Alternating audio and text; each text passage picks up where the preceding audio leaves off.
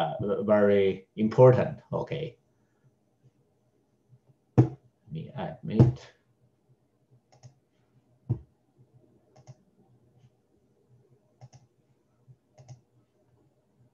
So for those of you who didn't attend the class uh, last week, make sure get familiar with the notes and make sure uh, I do have the information, most of the information in the course outline, D2L and the notes, but make sure you talk to your uh, classmates as well to, uh, uh, to get the uh, complete information about the course management and the nature of the course.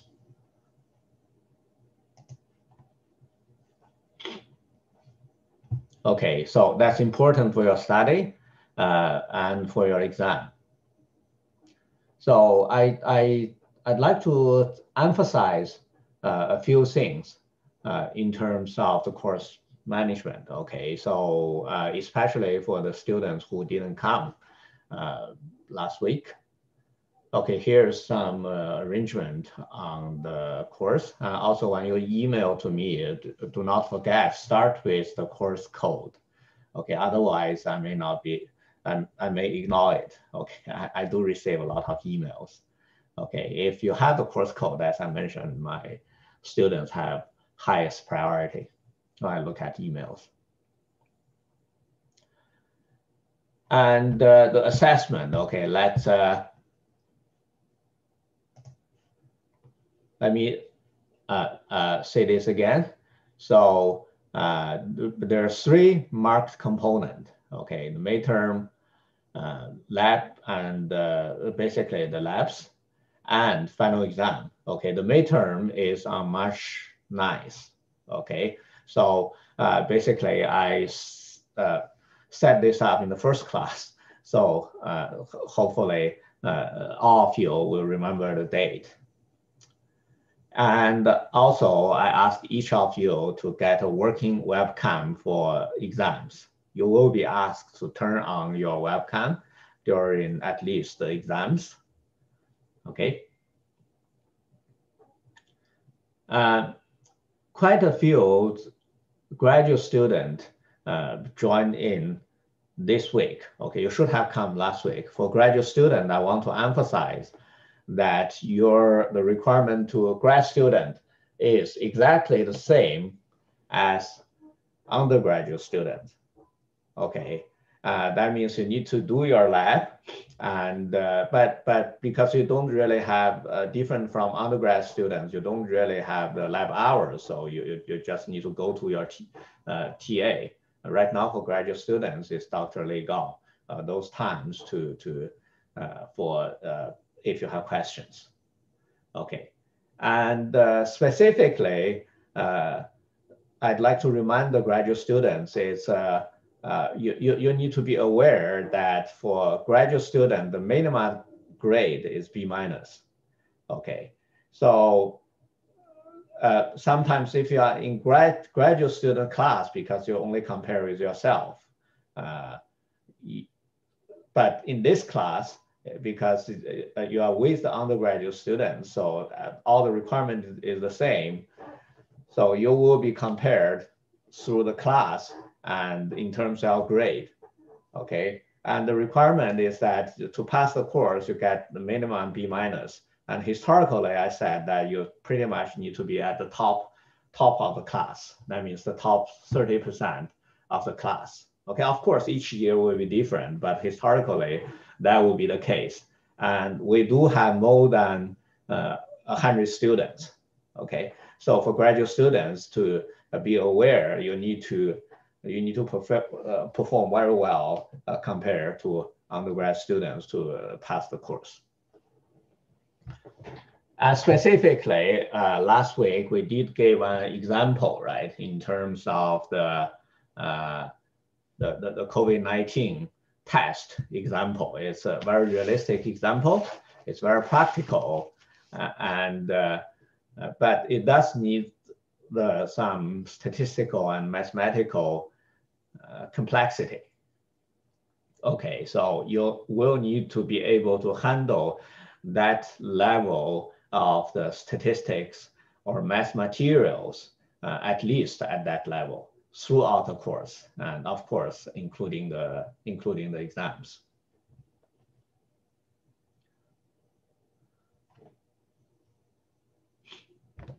Okay, so that's pretty much uh, because there are some students who uh, didn't come last week. So I'd like to emphasize those few things. Uh, any questions regarding regarding the course management?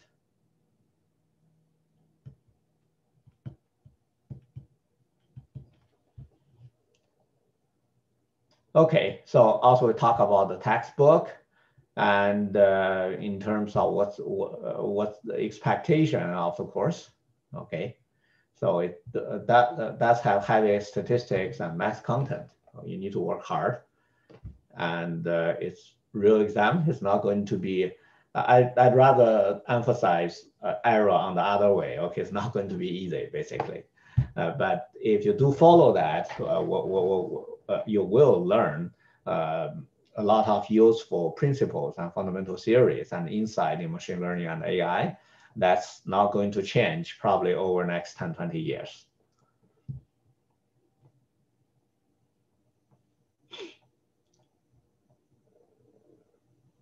Okay, so uh, we we talked about this uh, mathematical example uh, that encompass a lot of many concepts. Okay, I hope you have reviewed the example yourself offline and be able to understand uh, most of it, I would say, uh, because some of the concepts we are going to come back again. Okay, I, I, actually a lot, uh, all those concepts will be using those concepts and coming back again and again across the course. Uh, but this is an important exam and uh, you, you should be able to, uh, any questions uh, like this, you should be able to answer that independently, okay? And that means it will likely to be in your exam. Okay, and then we, we talk about the basic uh, AI system, okay? So that's the intelligent system in terms of the uh, yeah, basically the, the, the content of this class. We talk about the basics of machine perception and what is intelligent system. And then we started with the, some history of the uh, artificial intelligence or intelligent system. So starting with uh, from 1940s, I said in World War II, uh, that's uh, because of the development of electronics and uh, uh, uh, invention of the computer. So people start to, uh, you know, from the day one, right? We have computer. People start to thinking that the machine intelligence, and people start to thinking of that machine could possibly uh, do the intelligent jobs that human does. And uh, Turing proposed the Turing test for uh, AI in 1950s. And then there's a, a Dartmouth meeting.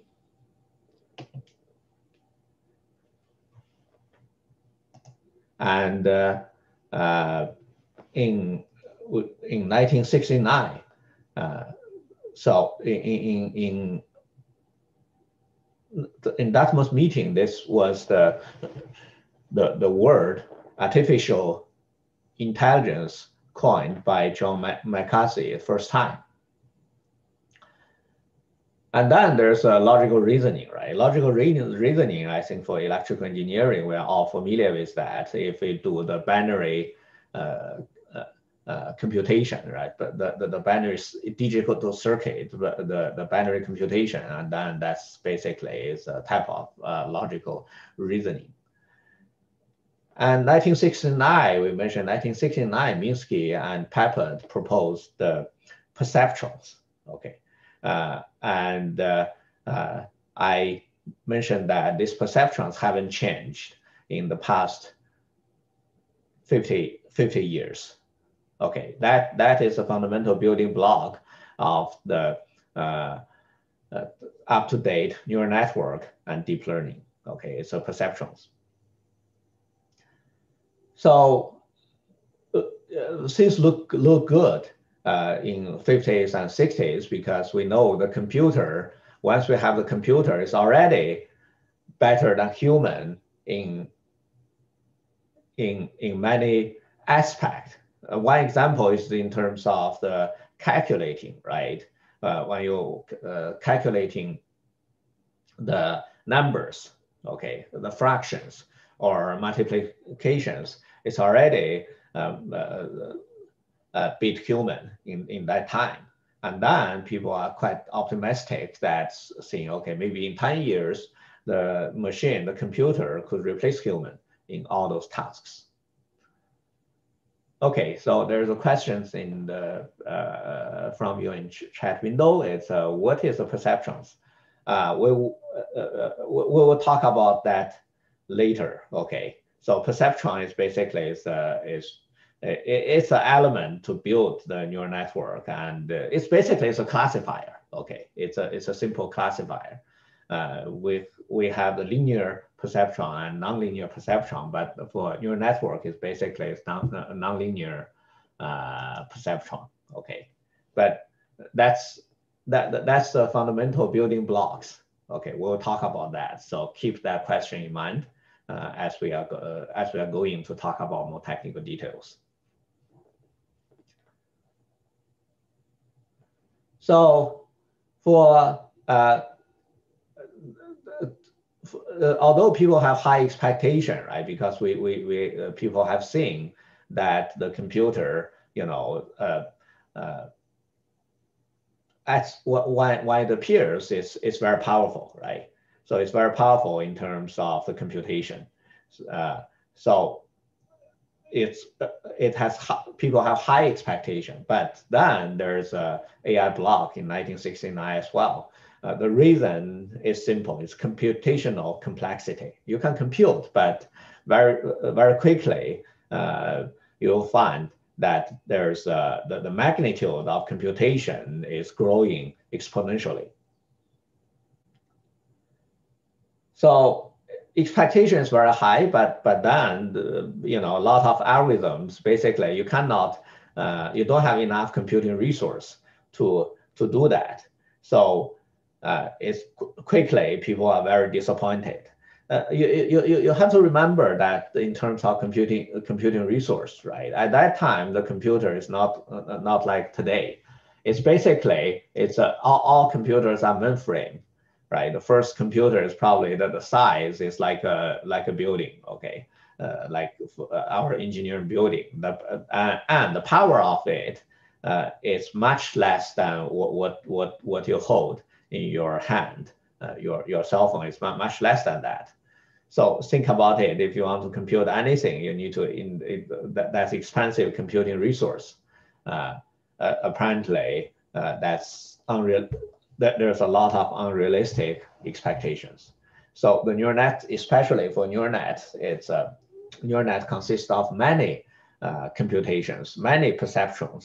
So it's almost disappeared due to failure uh, to meet the expectations. Okay.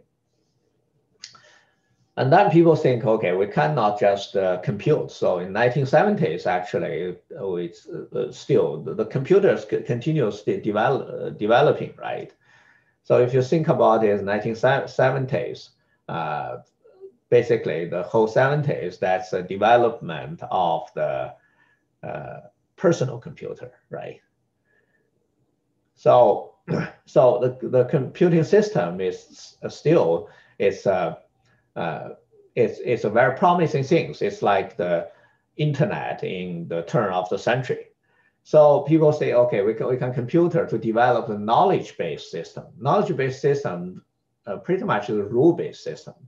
So in 1980s, uh, there's um, expert system industry boom. So what's an expert system? Expert system is basically uh, uh, a rule-based system, like, you know, let's say for doctor, right?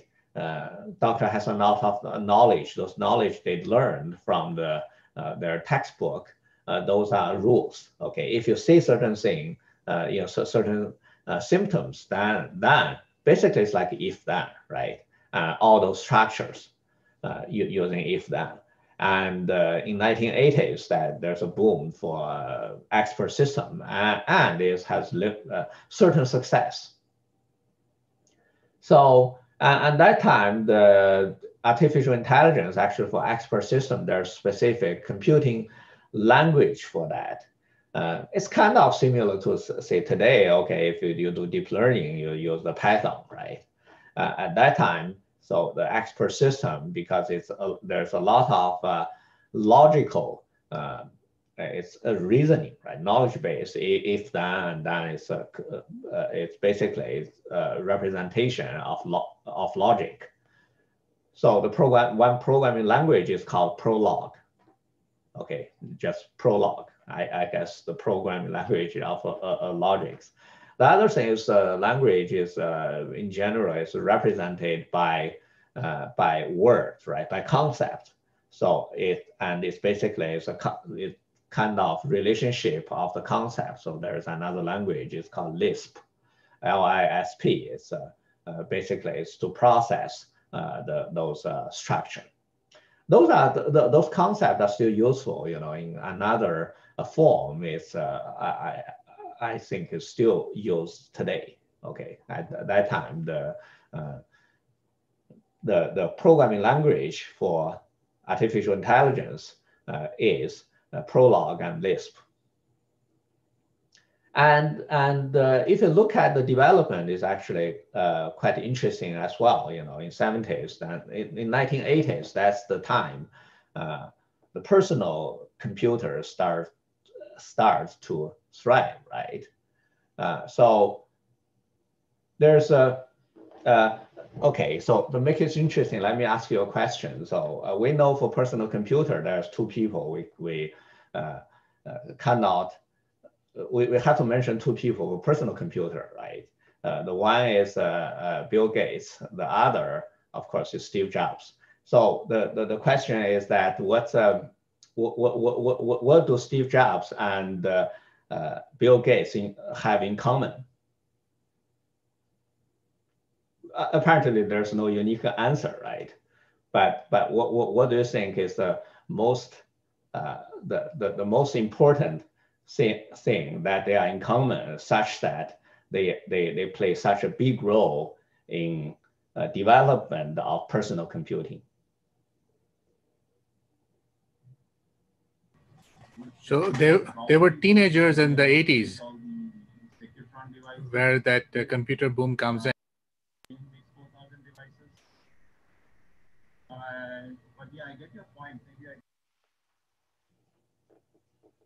Yeah, so one, one, one is the Windows and not Mac OS. So pretty much, you know, the uh, what, what, what Nadim has mentioned that, so if you think about it, because they, they were born uh, at the uh, uh, almost the same time. I think one is 1956, the other is 1957, right? Yes, in 70s, as the development of the computing, right? In 50s and 60s, the mainframe, and then for mainframe computers, say, oh, we want, uh, it's, it's like, uh, you know, last, uh, last decade, you know, the, the, the mobile phone, right? That, at that time, say, okay, can, can we take advantage of this in, in people's daily life? the ambition of uh, uh, both of them, I would say, is to put a computer on everyone's desks, right? If you think about it, uh, from the mainframe, like a football field or like engineering building, they want to put that in the uh, person's uh, uh, individual desktop. Okay, it's it's very ambitious, but but that is what what what what you just said in 70s as it's developing, they are uh, uh, just uh, like teenagers, right? Or like 20s or, or, or, something like that. They are kind of fresh in uh, college and university, right? Both of them, uh, they, they didn't complete their, co their college. Okay, so, so that's very important. You have to be uh, at the, you know, have right interest and you need to be in the right time of the history. Okay, and actually not not only uh, not uh, those uh, uh, Bill, Bill Gates and Steve Jobs, they are representatives, right? And uh, if you think about other people who invent things relevant to our today's computing, they're about that age. If you think about like uh, Sun Microsystem or Oracle or you know those uh, uh, big names in today's computing, they are about the same age, right? And when they are inventing this tech technology, they're also about the same same age. Okay, so it's important. So what's a, uh, uh, what dedicate, uh, you know, um, dictate that development? We know. Uh, I think we should be proud. That's actually electrical engineering, right? It's uh, integrated circuit. Okay, the integrated circuit was invented in 50 or 60s, and then for integrated circuit and computing power, uh, it's a it basically we, we know that's called Moore's law, right? So, however, we were looking at it, uh, the fundamentals are the computing power. Okay. So uh, apparently that computing power made this uh, many things possible, including this uh, uh knowledge-based system. Right? But again, the knowledge-based system, we know the rule-based system is going to have uh, uh, limitations. It, it works well in, in, for a certain level, but, but it doesn't solve all the problems, right? So in the end of 80s, that's a expert system industry bust uh, that we call AI's second winter. The first winter is end of 60s, okay? And then, uh, you know, the rule-based one problem is the rule is kind of deterministic, right? So after that, people say, okay, we, we should have uh, consider, you know, the probability, the rise of probability.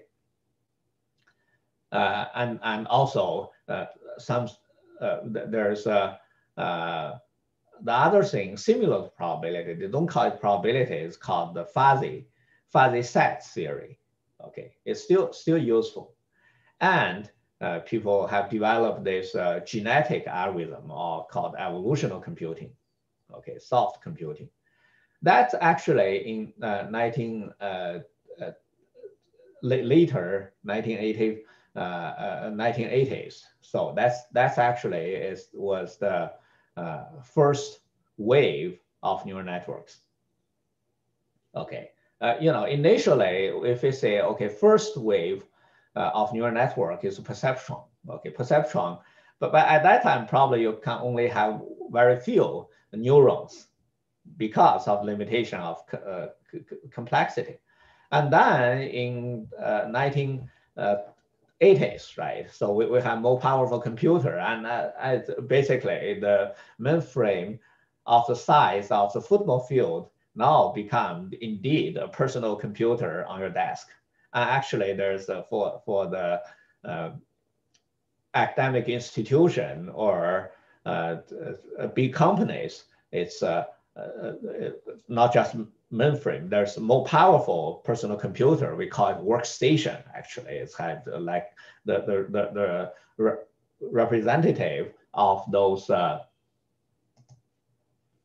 workstations are Sun Microsystems and SGI workstation. They, they, they, they have very fancy uh, graphic monitor, graphical and color monitor. At, at, that time, most of the monitor, they are, they are uh, single color, right? Single color is a green, basically, it's a green color.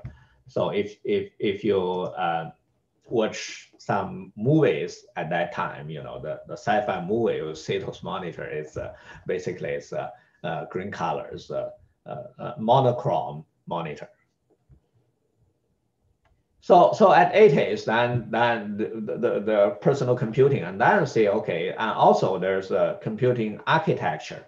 So we say, okay, we do we should do parallel computing, okay, and uh, neural networks happens to be, you know, kind of distributed computing, and then it's, it's come back, and uh, uh, it's at that time this was coined to say that's the sixth generation of computing.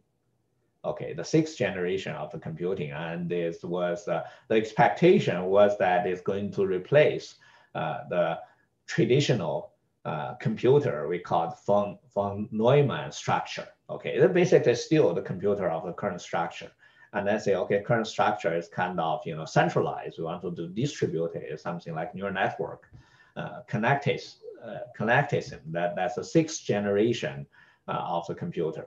So it was very hot. It's uh, no less than the hotness of deep learning today. Okay, in in uh, uh, around 1990s. So everything is uh, at that time for all the tasks people want to try uh, neural networks, including the, the tasks we are familiar today. Okay, like uh, uh speech recognition or uh, image uh, recognition, like the, the the the OCR, the optical character uh, recognition, all those people are trying to uh, train your network. If you look at paper published in that time, uh, it, it's, it's pretty much like deep learning today, you know, everything, they have that, that word uh, called neural networks. and there's a booming of the journals. Okay, there's an uh, IEEE Neural Network Society and IEEE transactions on Neural Network was uh, founded at that time. And uh, because of that uh, wave. So there's a genetic algorithm, fuzzy set, uh, all those uh, computing.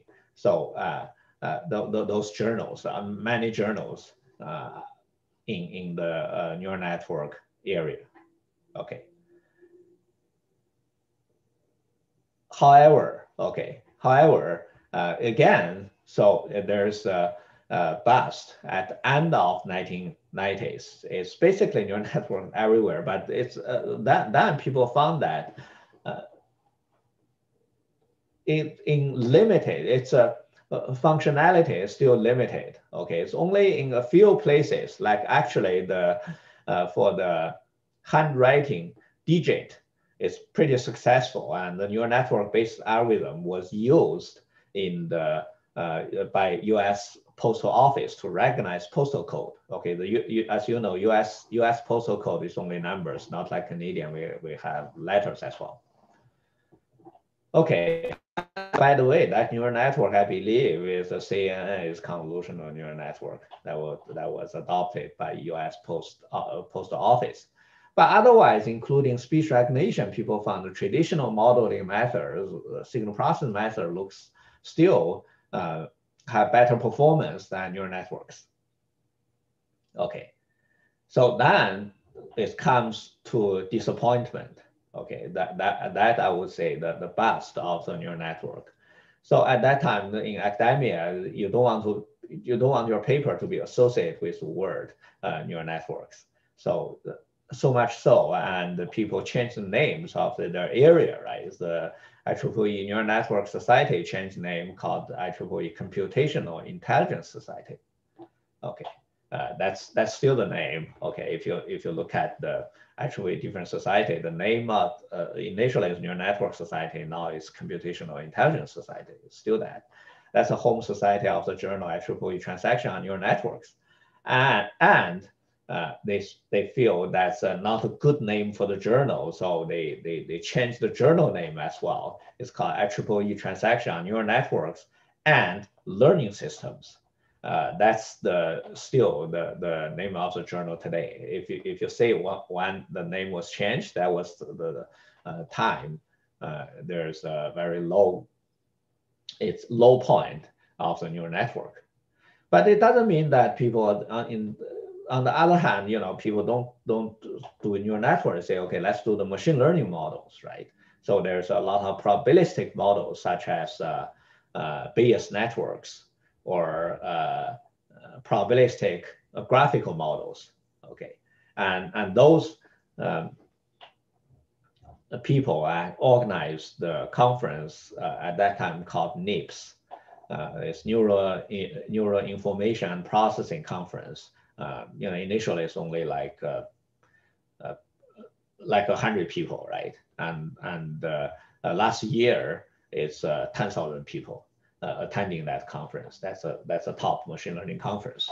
Okay, and similarly for computer vision at that at that time it's early uh, two, uh, 2000, there's, there's only, you know, 100 or 200 people attending the conference, but now it's uh, attending the conference, it's more than, more than 10,000 as well. So one, one major problems uh, actually we, we see today is uh, actually not, not just today, all the times, it's basically it's computing resource and the data. Okay, so uh, for for academic research, most most people have abandoned the neural networks at uh, after two, uh, 2000. Uh, but there there were a few people we know that they you know they uh, got Turing uh, Prize, uh, Turing Award a couple of days ago, right? Basically, our Canadian guys, Geoff Hinton, Yoshua Bengio, and Yann LeCun. Okay, so, so those those are the people who who keep doing the neural network during the downtime. Their paper was rejected, and uh, I think uh, Yann LeCun uh, have have some essay to to recite the uh, his, his experience uh, getting rejected for his neural network paper. But but then with the computational power, right, and uh, by the way, the neural network, the fundamentals of neural network back in uh, 90s and today's neural network, there's no fundamental difference. Okay, just, just so you know, technically, there's not a lot of difference. So, and uh, we'll, we'll, talk about the, uh, for neural network in 20, uh, uh, I think it's 2012, they, they, they have this uh, uh, attend this uh, uh, challenge, the image object recognition challenge, and and they improve the performance recognition performance by 10 20 percent. Okay, that's huge, and and then the neural network has a, a, a very good performance in speech recognition as well, and then after that the study of the neural network has uh, exponential uh, growth. So uh, that's that's the reason I think uh, right now I have this uh, large class today. Okay, our intelligent system class. I I taught this class since uh, I think 2006. Okay, on and off. So, but but apparently the registration are, are, are up and down. Okay. So that's a little bit history. And now, because of this deep, uh, deep learning, the resurgence of the neural network, then the AI uh, is at its highest uh, nowadays. And intelligent system basically is uh, everywhere. And remember, the deep learning is only a very, uh, I, I, would say, the subset of intelligent system, right? But because of the uh, influence of deep learning, actually people now uh, are, there are more interest in all areas of machine learning and uh, intelligent system, and rightfully so. Okay, because it, it does help us with, with the computing power, it does help us in many, in many, many tasks.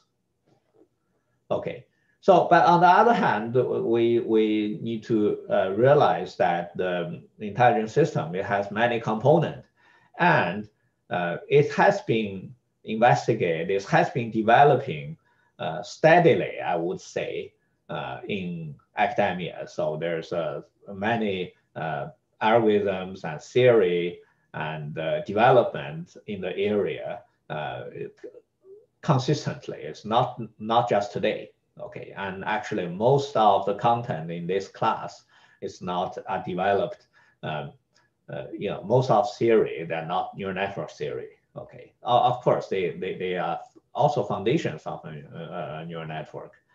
Uh, and they have been developing the, over the past, I would say, the half a century. Okay, so, and uh, we would expect all those uh, techniques, intelligent system techniques have, uh, you know, great development in next, you know, 5, 10, 20 years. Okay, in terms of applications, we know that there's uh, many applications, and and uh, I will talk about a few uh, because those are pretty successful. The first one is automated speech recognition, right? Um, and along with the natural language processing, there's uh, basically it's used uh, uh, in our daily life now. If you have a phone, it most likely has a, a, voice assistant like Siri, or in your home you might have a Google Home or Echo. So those are the uh, today's commercial product that's using the uh, ASR and natural language processing. Uh, also, we can you know have this optical character recognition. That's actually the the early times, early success, one of the early success of the neural network. Uh, biometrics, okay, uh, and today we are arguing the uh, privacy issues, right? Especially for face recognition. Okay, that's uh, biometrics, and the first successful application of biometrics was actually fingerprint identification. Because even before deep learning, we know that when you go through the border, right, and many countries will ask you to leave your fingerprint. That has been used uh, uh, uh, for for for a long time. Okay, that's before the deep learning, and the methodology was used at that time was uh, was not deep learning. Okay, and um, other things like gait analysis, uh, iris detection, and autograph detection, a lot of biometrics. So those are all can be considered uh, intelligent system, actually, the pattern classification techniques.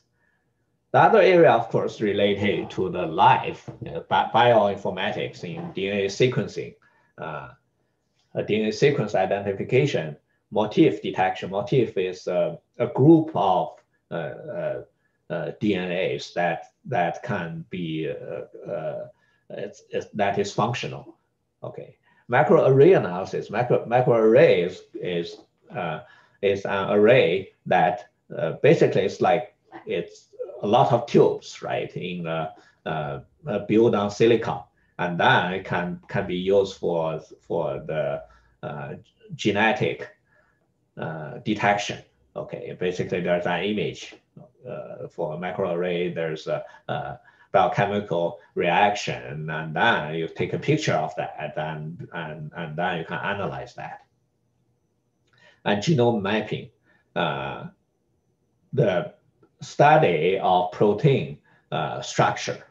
Okay, so you start from DNA sequence, but one sequence that control can control the uh, the, the, the protein generation, right? We know protein structure is three-dimensional. So there's a, not, a lot of possibilities. And most recently, we have this AlphaFold. It's developed by, uh, uh, that AlphaFold was developed by, uh, by Google uh, DeepMind. Okay, we'll get, we'll get there. And uh, this is an example, actually, is my, my former students' work in the Cued Speech recognition. This is the combination of the speech recognition and the, the uh, gesture. This is for, uh, this is a set of speech for deaf people, okay, with the, uh, you know, the, the different lip position plus the, the hand position. And then, you know, it, it's, it's, it's a, a, a basically a language. It's called Cued Speech that, that can be used by uh, deaf people. Okay.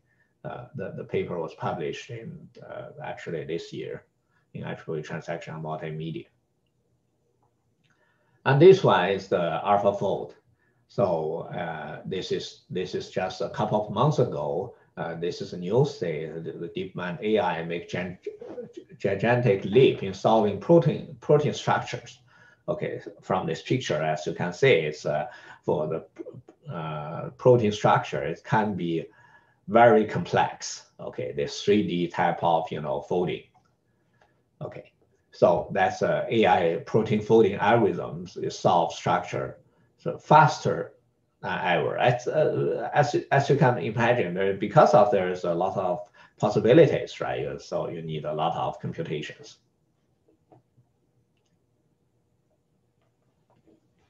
So, and then of course, uh, robotics.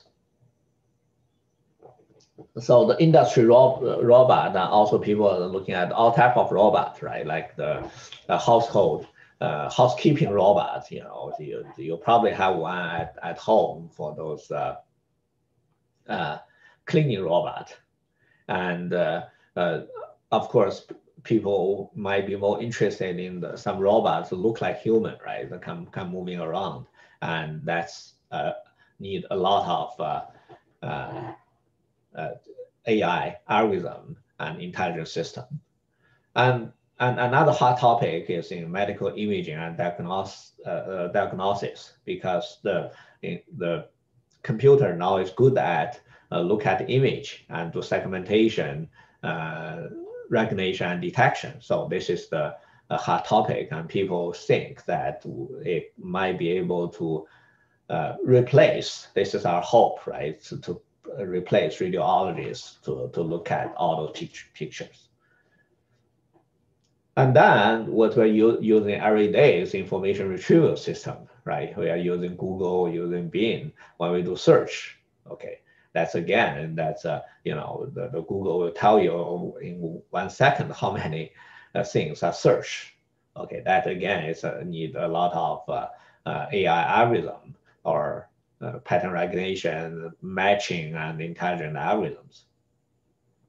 And then the other thing, you know, we we were surprised why we are receiving uh, certain uh, ads. You know, you talk with friend or you email friend, and then suddenly the pop-up uh, uh ads it is exactly related what, what, what you just talk about. Okay, that's recommender system. Okay, and uh, uh, uh, so that's uh, that's basically is the business model of uh, the internet, uh, the major internet companies, internet giant, right? So for the uh, Google, Facebook, Amazon. So for for basically for social media, um, Amazon has make, make profit from other revenue as well. But social media, for social media, basically that's uh, where, where their income are from, right? They, they have targeted ad to the population. And uh, of course, there's uh, associated problems, right? Ethics problems and privacy problems. But apparently, with that big data and with intelligent algorithms, uh, is, it indeed uh, can uh, dig out a lot of information about uh, our preferences.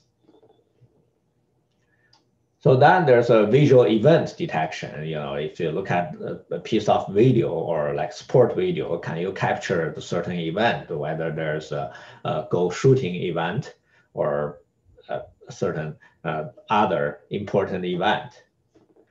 And there's many content management system, right? Like the, you know, if you have a photo al album on your iPhone or Android phone, they manage your pictures and gaming Okay, and uh, you know, uh, of course, you can think of you uh, just by reading at the news. This list can go on and on.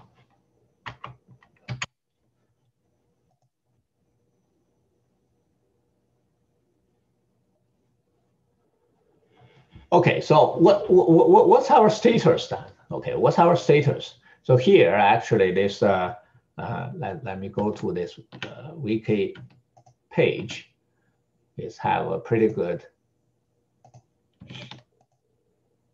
summary for a few concepts.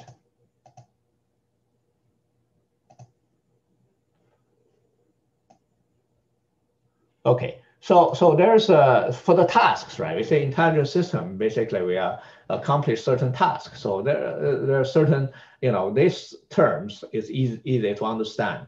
So for certain tasks, there's a possibly optimal solution, right? If the computer solve the problem, like like certain puzzles, the computer can uh, find the, the best path, then basically it's optimal, right? There, it's not possible to perform better.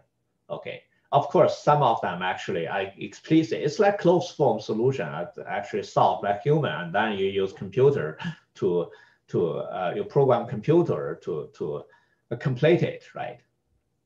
And then there's a task like uh, superhuman, right? It's performed better than all humans. For, for many, uh, uh, you know, the board games, it's actually performed uh, you know, better than all humans. You, you just can't beat computer. But, but uh, those uh, games, it probably it's hard to say that it's optimal. And then there's high human. Basically, it can beat uh, most humans. Okay, only uh, it, uh, it, it, it may not be the expert, but it's better than most humans. And then there's a part human means it's uh, similar to most humans. And, and then there's a task, subhuman is basically it's performed worse than most humans. So those are the some terms uh, that uh, uh we use to describe the, the status of the technology uh, of, of the uh, intelligent system, the performance of the intelligent system for certain tasks. Okay, let's look at some example here.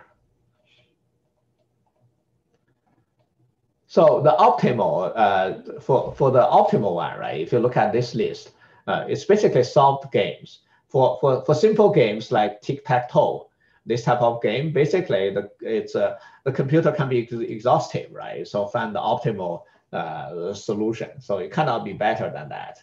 So basically who, who goes first will win for sure, and then the computer can solve that. And for superhuman, that's basically it can beat human, right?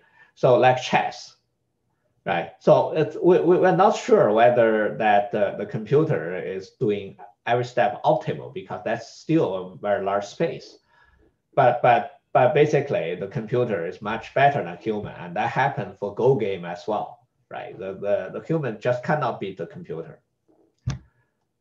But before you reach the superhuman, and uh, most the computer is actually pretty much high human, even uh, for, for, even for chess, before it can beat the beat the world champion uh, Kasparov, it's actually already beat most of humans, right? In that case, it's actually the high human. And right now in high human, it's uh, for many games uh, like the bridge card playing or StarCraft. Uh, those games, it can beat most humans. Parhuman is uh, for recognitions, you know, for optical character, uh, character recognition or handwriting recognition. It pretty much has similar performance as human. Uh, for subhuman, there are some, actually there's a, a, lot of tasks is, is uh, subhuman, right? Uh, for speech recognition, still, I think it's a, subhuman in, in that if, if we, for our conversation, if we we do not, our pronunciation is not standard, right? If the computer is not well trained, it's still not as good as human. Uh, here they have stock market prediction, which I don't agree. I don't think they know they know about that. Uh, you know, the, the human is not good either, uh, for a reason. Okay.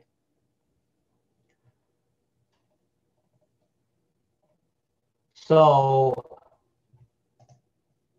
uh, let's look at this uh, table a bit in terms of the game, right? Uh, so that we can understand uh, what, what that means in terms of the, uh, the AI progress, uh, just a game, okay.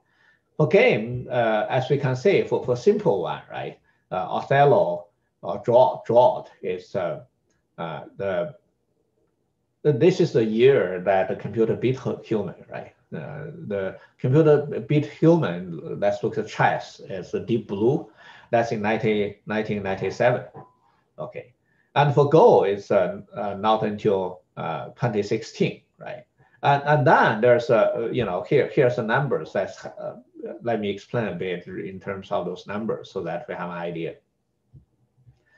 Uh, this line is how many possible combinations on the board, right? Most of them like a, a board game. So what are all possible uh, legal state, okay, uh, uh in, in, in the game? So as we can see for the chess, uh, th this is log 10. That means it's 10 to power 46, okay? That's the number of legal states on the board. On the other hand, if you look at the Go, right, why, why in uh, the computer can beat human in 1997, but only 20 years later, it's, it's, uh, it's Go. If you look at the magnitude of the legal states, this one compared to this is almost infinite, right? This is 10 to power one uh, 72, right? It's basically one up to one, and then you have 172 zeros. That, that's the number of states. Okay. And, and not only that, it's basically a sequential game, right? Sequential game is basically if you want to, to do exhaustive search, right? So basically, if you do this state, and then there's a lot of possibility, a lot of route, right? And it becomes a tree. The, the whole the whole game becomes a tree. If you consider all possible uh, uh, uh, games from beginning to end, that game tree complexity is uh, much larger than this, right? Because this is sequentially. We can see the chess, you know, is 10 to power 123, and the Go is 10 to power 360. Okay. Uh, that that's a huge a huge number. Basically, I think that number is more than the number of particles in the universe. Okay, that's why uh, there's people was quite uh, permissive of the uh, Go game. Say, okay, maybe the computer will never beat the human. Okay. But, but actually, there, there's a fallacy in that the logic, right? So the computer may not exhaust all those states all those complexities, but human cannot either, right? So if it cannot exhaust all those things, so an optimal solution doesn't mean it cannot do that well enough to beat human, right? That's actually what happened. So if you look at today's uh, uh, uh computer uh, Go game, is that optimal? I was apparently not because it's not exhaustive, right? If it's not exhaustive, mathematically, you cannot claim yourself uh, optimal, right? Unless, uh, you know, if unless you have a rigorous mathematical proof or, or, or, you exhaust all of those, you cannot claim your, your, your, your move is optimal, right? So we can safely say that it is opt not optimal. However, it, it, it beat human. And also another thing we want to look at is uh, this line is whether it has perfect information or not, right? Perfect information means, okay, at, at, at every uh, move, I know all the information, right? This happened to all these sequential games because as you are moving, you know all the information, uh, uh, all, historical information. There's nothing hiding from you, right? You, you know the rules, all rule, everything is transparent. Okay, as opposed to some card game, uh, poker game, uh, you have imperfect information because whether your move is dependent dependent on secret information of your opponent, right? Let's say if we are uh, playing a Texas uh, Hold'em and you don't know their card, right? You, you know, you, you don't know what they hold, uh, what they hold. Uh, uh, you don't know those information. So those those kind of imperfect information. In general, uh, apparently the computer are better when they have perfect information. Actually, in all those games, I, I would say if, if, there's perfect information, uh, the computer uh, has huge uh, advantage because it's just computing fast, right? But with imperfect information, then, then uh, it doesn't perform uh, as well. Uh, also, if you look at the success of today's computer, I would say more or less they have near perfect information. If you think about that, they kind of know everything, right? Uh, even even if uh, if we think about the language, uh, the speech recognition, somehow uh, they are not exhausting all the all the pr pronunciation space they're basically exhausting every word that that people can possibly speak, right? If you think about all the literature or all possible sentences, it is a large set, but but the fact is it's limited, right? If you think about the library of the uh, you know of the whole world, right? All the sentences in one language, um, it's uh, it's a finite number right? So if the computer exhausts all of those, then if it can exhaust all, all of those, it can do pretty well, right? That's actually somehow what's what's happening, you know, because if if if you want to uh, a computer to do those things well, the computer you do need to have a very large training set. Uh, literally, you you know everything about it. Okay. So so that's uh, a little bit uh, insight, but still uh, we in terms of predict. Okay, when we are going to solve certain programs, I would say it's uh, still very hard to predict that. And here, I think there's uh, uh, some examples in, term, uh, in terms of people's prediction, right? For example, this one, right? Uh, we know 1960s, that's the first uh, wave of artificial intelligence, right? And uh, in 1957, that's one year after the, the Dartmouth meeting, if you remember, and people predict, okay, when the, uh, the computer can beat a, a, human player in, in chess game, the prediction is 10 year or less. Uh, and uh, uh, it's predicted by this Herbert Simon. Okay, it, it says economist actually he's he's a uh, a computer scientist. He's a computer scientist in artificial intelligence who won Nobel Prize in in in uh, economics. Okay, so he, he's not a, a, pure economist. He's actually a computer scientist. Okay, his prediction is 10 or, year, uh, 10 or less years. But think about it. This, it happens in 1997, right? That's uh, 40 years later. Uh, and then this Ray uh, Kurzweil is a futurist. Uh, you know, he's he's still alive. He has a lot of inventions and uh, uh, a lot of predictions as well because of, he's a futurist, right? In 1990s, he predicted 10 or less years.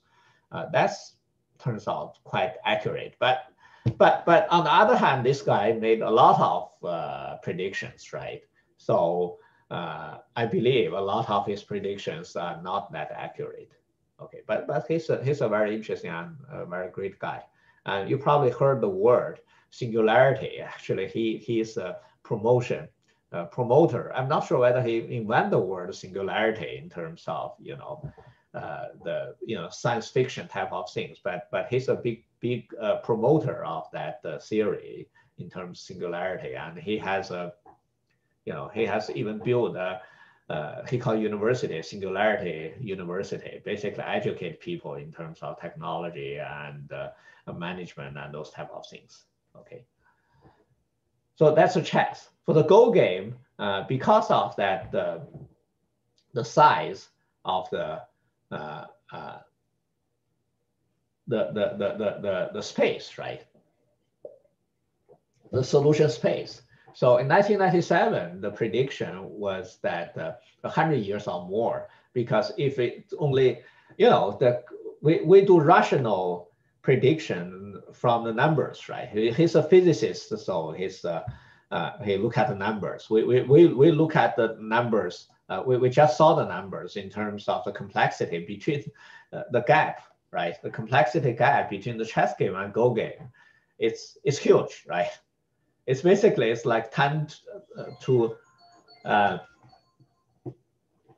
power like you know like more than 100 zeros there right? So it's reasonably he he believes uh, probably uh, more than more than 100 years. Okay. So in um, 20 uh, uh 2007 and uh, this uh, one of the deep blue deep blue guy uh, predict is 20, 2017 or sooner, and, and that one is uh, turn out pretty pretty accurate. Okay, and those two are pretty pretty good. And uh, I, I think that's actually uh, a pretty good prediction because 20 uh, 2007 there's uh, the deep learning is not there yet. I mean, it's not that hot yet. It's it, it is there. People are not using that uh, that much. Okay, so so basically, uh, the point uh, I want to uh, make here is for particular task, uh, it's probably hard to uh, predict when it's going to uh, exceeding human for particular task. But if you look at the tasks, right? If you look at all the tasks that has a computer has exceed human, if you look look at the property of the nature of those tasks, pretty much those tasks are well defined or it can be defined. So, so that paradigm is pretty much task by task. Okay, we do chess first, then then we do Go, and then we have another game, right? It's it's one by one. Okay, that that is completely different from the human level. What what, what we are trying to uh, imagine, right? Like science fiction, saying, okay, the, the artificial general intelligence, such as, uh, you know, or, or, or we call it AGI, it's completely different story. Okay, AGI is like, you know, you think and act like human. Uh, that's uh, the definition will be very different. Okay, and for that, I think it's pretty much science fiction, and, and there's many predictions, right? The AGI, you people imagine, you know, when, when that would happen. I think most uh, uh, most of them is like, you know, 30, 40 years, right? So uh, the latest is Ray uh, Kurzweil predicting, you know, another 20, 2029, right? That's another 20 years. Okay, let's say, oh, I, I, I think uh, most of us probably will live to that day to say what's what's happening for the uh, AGI by that time.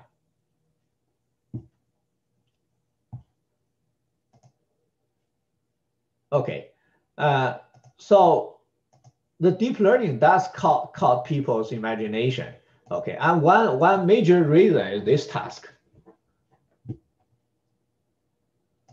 This task is uh, object recognition. Okay, so basically there's uh, uh, millions of images in this ImageNet. Uh, is uh, we, people want to recognize. There's uh, more than a thousand objects to recognize. So for give you a picture, you can recognize the object in that, whether there's a cat or dog or, or a desk or cup and, and things like that. Okay, and uh, uh, the the person who initiated this project is a, a female a computing scientist uh, in at Stanford, uh, Fei Fei Li. Okay, he he she she she collected all those images and uh, using Amazon Turk to uh, label all those images because labeling is uh, is is very hard tasks, right? Uh, you know, the basic human need to label all all, all the things. Uh, ground truth, and then you use uh, you can use, use computer to to uh, you can test your computer algorithms, right? And you can train your computer algorithm and test your computer algorithms. So again, the uh, the, the way to build such uh, large data set uh, is also because of the development of, of the computational power and computing technology. Otherwise, it wouldn't be possible if there's no Amazon top, uh, uh, uh, uh Amazon Turk machine. you know, basically, he, that means you can recruit whoever want to do the task in the world, right? It wouldn't be possible to label such a large data set.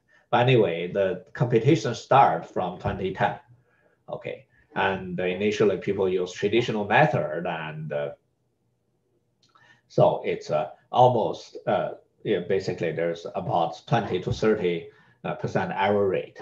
Okay, and the big leap come from uh, 2012. It's called Alex. And Alex was a graduate student of uh, Geoff Hinton in our neighbor. So, and if you look at if you look at this, the, the first uh, two years, the winners, they are industry labs. They, they have more compute, computing power, right? But Alex was a just grad student at the university lab. And uh, he, what he did is he used a uh, neural network and he was able to beat all those in, industry uh, labs by a lot. Okay, 9%, that's, that's huge. Okay, and afterwards, okay, this is, this is why people recognize the power of the neural network, the deep learning, and after that, everything is deep learning. Okay, and uh, uh, you, know people play with that, and uh, uh and and 2015 it's uh, uh, it's part human performance. Okay, this is 5.1 percent error rate. Okay, and then you know people can still in, improve that uh, you know, it's basically it's like three percent, two percent, but that's uh, again it's a, a, fixed data set, and and then it doesn't make more sense to continue to to to do the task in a particular data set. Then the, the project, the computation was stopped a couple of years ago. But but this basically cap capture people's imagination. So. Uh, because before uh, uh, before this, people think, okay, recognizing objects, recognizing people, like face recognition, right? Or, or recognize something, uh, we, we think people can do better uh, than the human can do better than computer. But, but once this uh, come in, uh, along with the success of AlphaGo, AlphaZero, right, in, in Go game, then suddenly people feel unsafe. Uh, people think, people thought that the, the, pattern recognition that people can do better, but now computer actually uh, can do better than human in these particular tasks. Okay, that's what caught people's imagination. But uh, after you you you uh, take this course, you will know that those are particular mathematical algorithms for designed uh, that to learn a particular algorithm.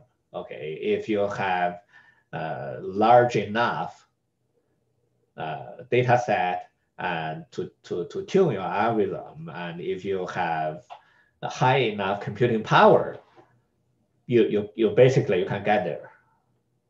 Okay, there's no mystery. So that's still uh, still doesn't generalize to artificial uh, general uh, intelligence. Okay, so unless you can prove everything there, uh, you know, all the tasks can be computed by, you know, using mathematical algorithm in a certain way, and we, we are not there yet. Okay, we just don't know.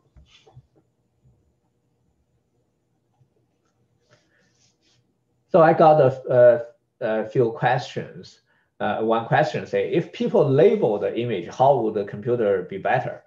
Okay, that's a that, that uh, that's a very good question, and we will have some uh, mathematical answers uh, later. But just in principle, right? It's like you you you you teach someone, right? It, we when we label it, it's it's like we we we we're teaching computer. It's called supervised learning, right?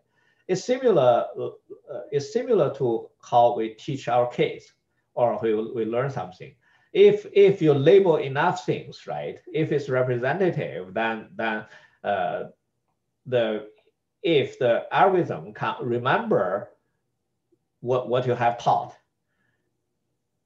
it then it can possibly do better, right? Because because the it's it's a program. It it, it doesn't make uh, mistakes that human might make.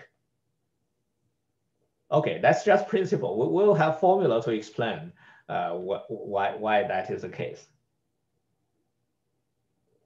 Okay, it's like a simply, the simply case is a statistics, right? If you label enough, the computer can compute these statistics. Okay, and it can compute better than you. So, uh, so it can do better.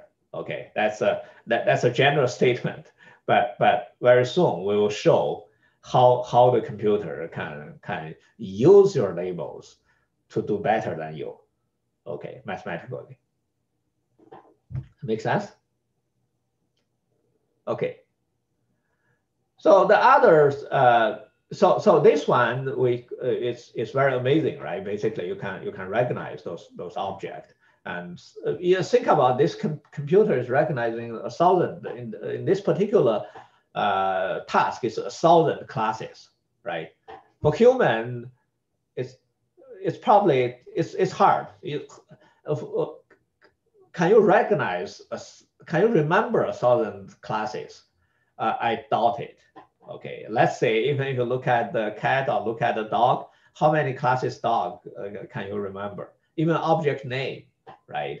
Uh, how, uh, how many names can you remember? If you can remember all a thousand, uh, I would be very uh, surprised. Okay, I, I think you, you, you, you have pretty good memory, but it's different for computer, right? The computer is very easy to remember a thousand names. Okay, so, so, so from computing point of view, it's not surprising. And the other thing is also from a human point of view, it's very uh, surprising and worrisome. This this being in the news uh, in the past in the past year. Okay, it's called deep fake techniques. It basically use use deep learning technique to manipulate uh, the images, videos, audios, right?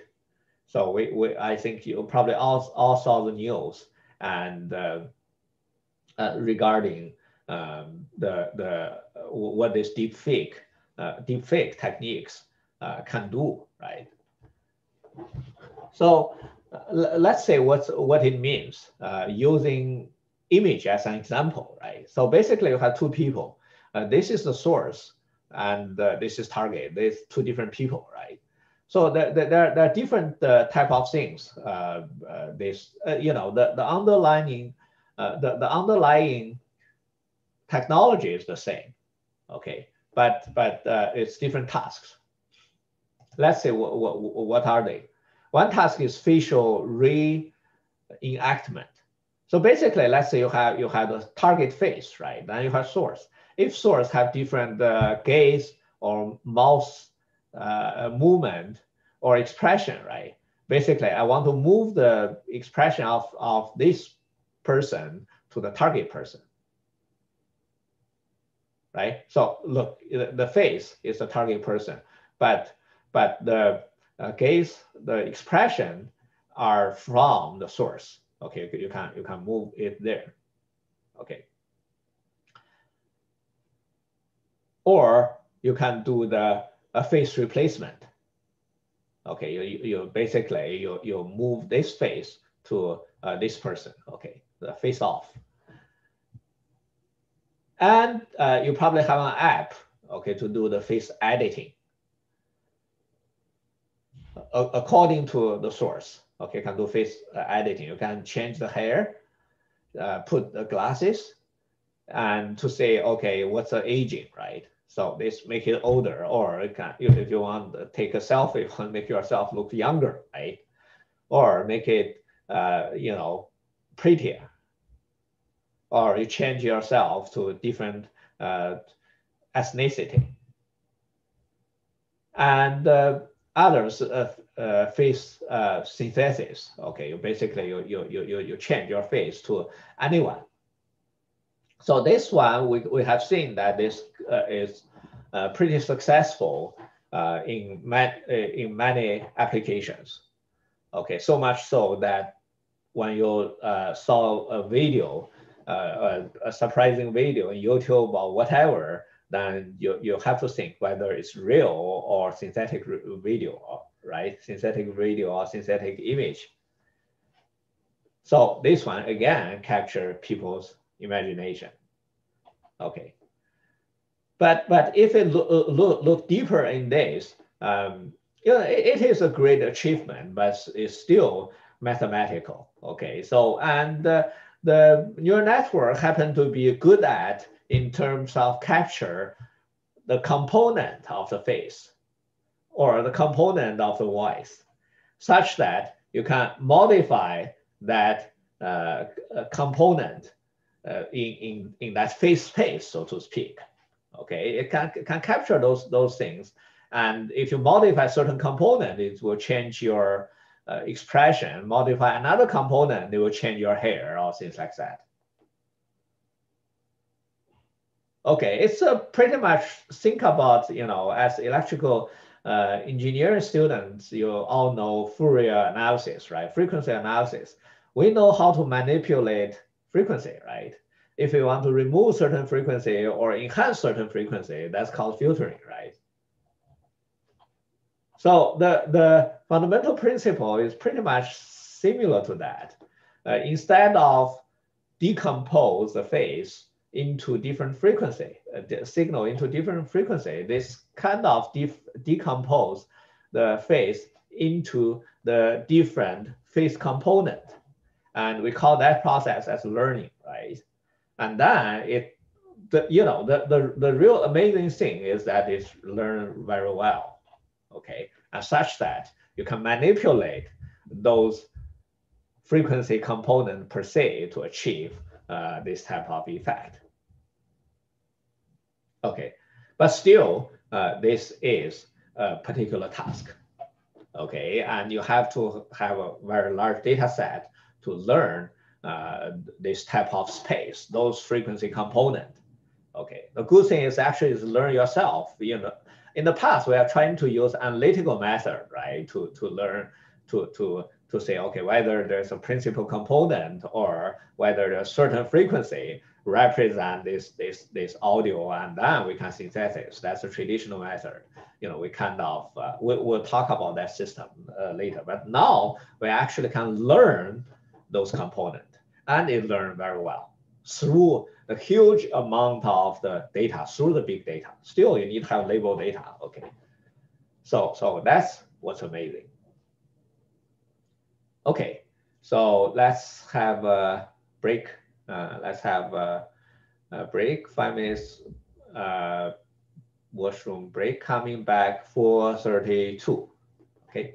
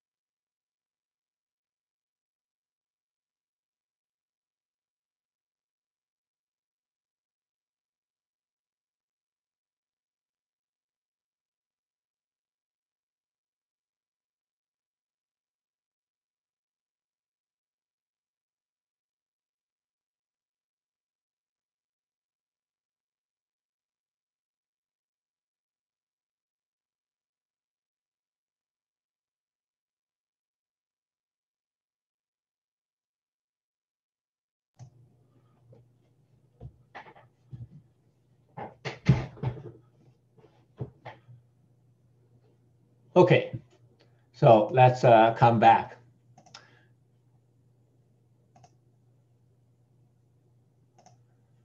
So we gave some introduction of the AI. Uh, so hopefully we, we have some insight uh, in terms of you know, also some questions in terms in terms of what what what what we are expecting of the future of the AI. Okay, so uh, basically, as we can see, uh, there there are two things, right? One thing is that the, what enable this AI is uh, computing power. Okay, so uh, all the turn of the AI and all the waves of, of AI intelligent system are indeed driven by uh, computing power. Computing power has two aspects. One aspect is the data storage, right? How, how, how much data you can look at it. Uh, you, you, you, you can look at. And, and second is how much processing power you can process those, those data. You can, you can computing, right? You can compute. So if we think about the first one related to computing storage, uh, the other thing is when we say intelligent system, when we say learning, we are basically what, what, what, what do we learn, right? We learn from data, okay? Or, or it's, we learn directly or indirectly from the data, right? So indirectly from the data, actually, if I transfer my knowledge to a computer, it's kind, of, I learn from the data, right? It's kind of indirectly uh, domain knowledge is indirectly learning from the data. And, uh, or you just look at the data and uh, directly learn from the data. Okay, and for a partic particular task, because then you need to do a lot of computation, right? So those are kind of the, uh, there's a word, so say electricity. Uh, the electricity is uh, is fundamental resource. Fundamental resource is the one is the data, the other is the computing power. Okay. Uh, so it's actually it's, it's a real electricity, right? Without electricity, you, you don't uh, you, you don't have computing power either. So so that's a, that's a fundamental dri uh, uh, uh, driving force, and then based on that is computing algorithms, right? Computer algorithm. What's computing? computer algorithm is a mathematical algorithm. So the innovation lies in the, uh, the those mathematical algorithms, how you construct the way uh, to, to learn, how you construct the way to process the data, so to speak. Okay, so, so that's what, what we're looking at. And, uh, and right now, uh, the other thing we, we have mentioned is that it's pretty much all the uh, algorithms, uh, especially for for the end application is pretty much uh, task oriented, depending on what task you are doing, right? Of course, uh, the mathematical algorithm, they can have similar structure, but for the tasks, you, you really need to, uh, all, all our advancements are pretty much task oriented. Okay, we, we don't have a, a universal uh, algorithm or universal machine saying, okay, I, I have done this machine and as long as I give you a task, you solve the task uh, yourself. That's, uh, uh, that's actually so-called AGI, right? If you, you know, basically without, you know, you, you just teach it once and then it can self-learn and then it can process the everything and accomplish task itself. So uh, as I mentioned that we are not there yet, and we are far from that from our current computing uh, architecture or computer uh, paradigm. Okay. Uh, I will substantiate those uh, uh, statements with, with more technical details uh, as we are, we are going on. Okay, so if you think about it, all these amazing things, because we you are this uh, AI generation, right? You think, okay, like deep fake or this type of things are very very amazing that we can use the computer to do, but but uh, from the electrical engineering point of view, if you think about the Fourier transform, how we can use use Fourier transform and Maxwell equation to have accomplished so much And that's also amazing, right? Think about if you are you were born a hundred years earlier, right? Uh, think about that. It's not you change face. Think about your people have invented the uh, telephone, right?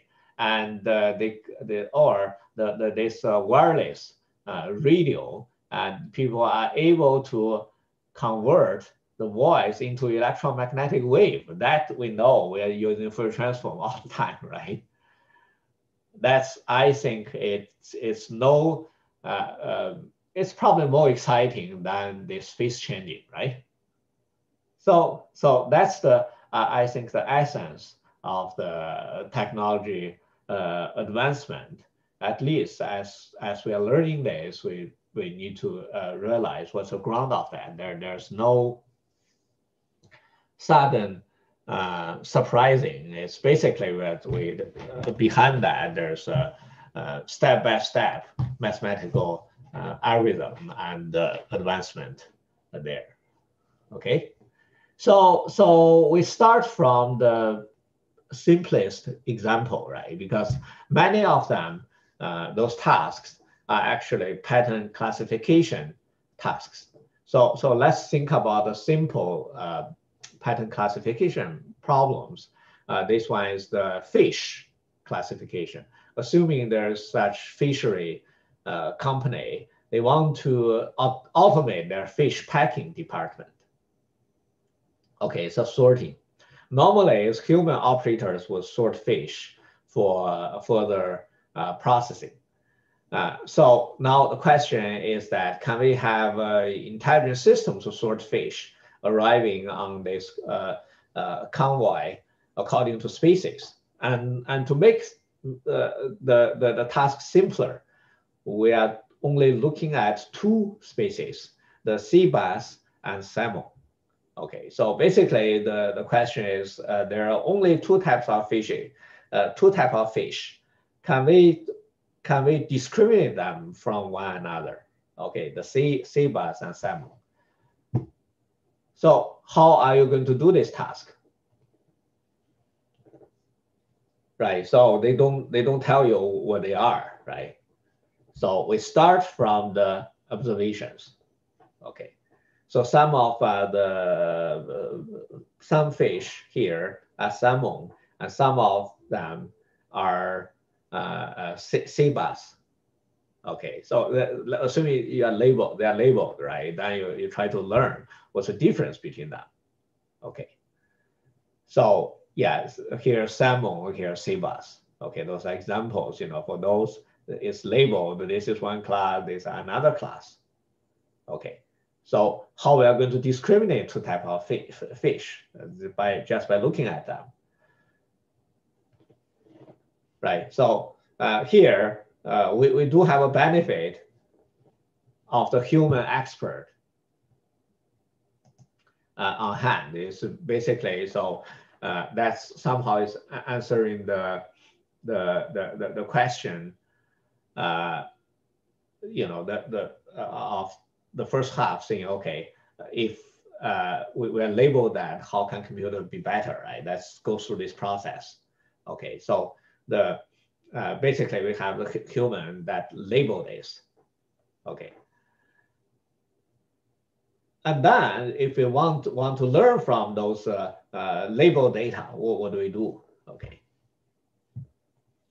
So we need something to measure the object, right? Uh, so, so we need measurement. And we need, basically that's a sensing we, we discussed last week, right? You, you need to observation, need to, need to a sense. And we need to collect, collect those measurements, then classify it with a possible outcome. Okay, that's how uh, human uh, uh, do the task. That that is also how computer do the task, right? For human, we look at it, you know, we, we sense them, right? And then from that sense, we look at the image or, you know, uh, we, we uh, hear, hear the sound sometimes, right? The, the, depending on what it is, or sometimes we smell. Uh, and then we, we, we, we process them, our brain process them, then uh, uh, recognize them. Okay, before I move on, I saw a question there. Uh, do you think uh, the current architecture is impossible to achieve anything in general? Uh, I uh, that, that, that I wouldn't. Uh, so so uh, the short answer the short answer is yes. Okay, current architecture. But again, what what what what is the current architecture, right? So we have a lot of algorithms. Uh, you know, we have we have a lot of different architectures, right? We we don't have a uniform architecture.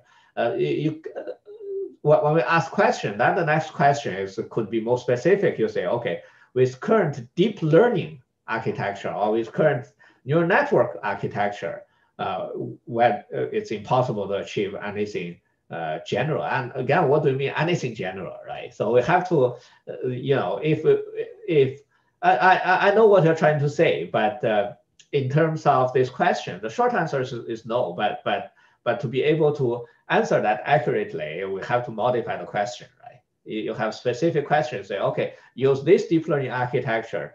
Uh, can we achieve such and such general task? Okay, but but uh, most likely the answer will be no. Okay, so so uh, as we go on, if you have uh, most, you can ask that question more specific, and also I can I I, will. Uh, uh, uh, when we talk about the technical details, anything related to that, I will explain. Okay, so I hope that somehow answer your question we, we have so many algorithms. I'm, I'm you know, uh, if there are some new architecture, it won't born from nowhere, right? Uh, I'm sure it has relations. Uh, assuming there's some AGI architecture, I'm sure it has relations with today's technology or algorithms. Okay. Okay, so let's come back to that. So basically we need to observe and then we need to process. Okay. So, so what's, what do we measure? right? So there are many things we can we can measure in terms of the uh, you know here a bunch of things that we can look at, right? We can look at the length of the fish, or lightness of the fish, you know whether it's dark or it's light, or the width, or uh, the other features, right? Number of fins, or the shape, right? Or eye and mouth, their position, or their color. Many things we can we can look at, right, to discriminate the two. Okay, so, uh, but we have to start from somewhere, right? So the first thing, let's say, let's just pick one, right? Let's say, uh, let's say if we, let's just measure the length to say, okay, if we measure length, how we're going to classify that? Okay, so so this is the uh, uh, the length of two classes, and uh, this graph is called histogram. Okay, so basically here uh, assuming we have a, uh, you know, a, a, a, set, a group of labeled fish, okay, and then we just we just measure each of them, all the lengths. We need to measure all, all the lengths, and this uh, assuming centimeters, okay, and we say, okay, how many fish are in each uh, each bin, right? Each bin is like you know one one within one one one cm, okay, one one centimeter we, we count the number of them, then we, we, we see uh, the distribution of each classes. And from, from these classes, apparently, we, we, we realize that in general, right, the bass is likely to be longer than salmon, uh, than, than, than salmon, right? So from here, we can see, oh, bass is likely to be longer than this. Then, then we, we, we can classify them by length. So basically, we're saying that if it's uh, long, then it's sea. If it's short, then it's salmon, right? But then what do you mean it's long? Or what do you mean it's short, right? How long is long? How short is short, right? Here, we're saying, okay, let's set up a threshold. Okay, if it's longer than 15 uh, centimeters, it's sea. If it's shorter than 15 centimeters, then, then, then it's uh, salmon, right? We can set up the threshold. So where do, where do we set up the threshold? Right, by what criteria? You can set up the threshold everywhere, right?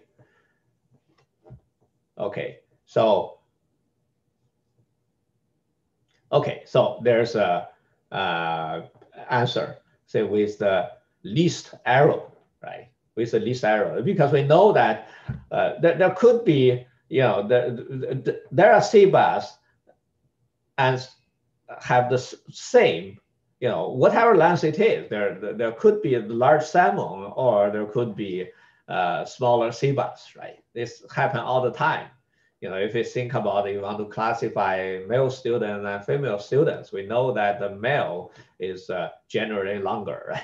So, but but there are tall uh, women and there are short men as well, right? So it's uh, it's similar things. So wherever you pick that threshold, there's going to be some some samples misclassified.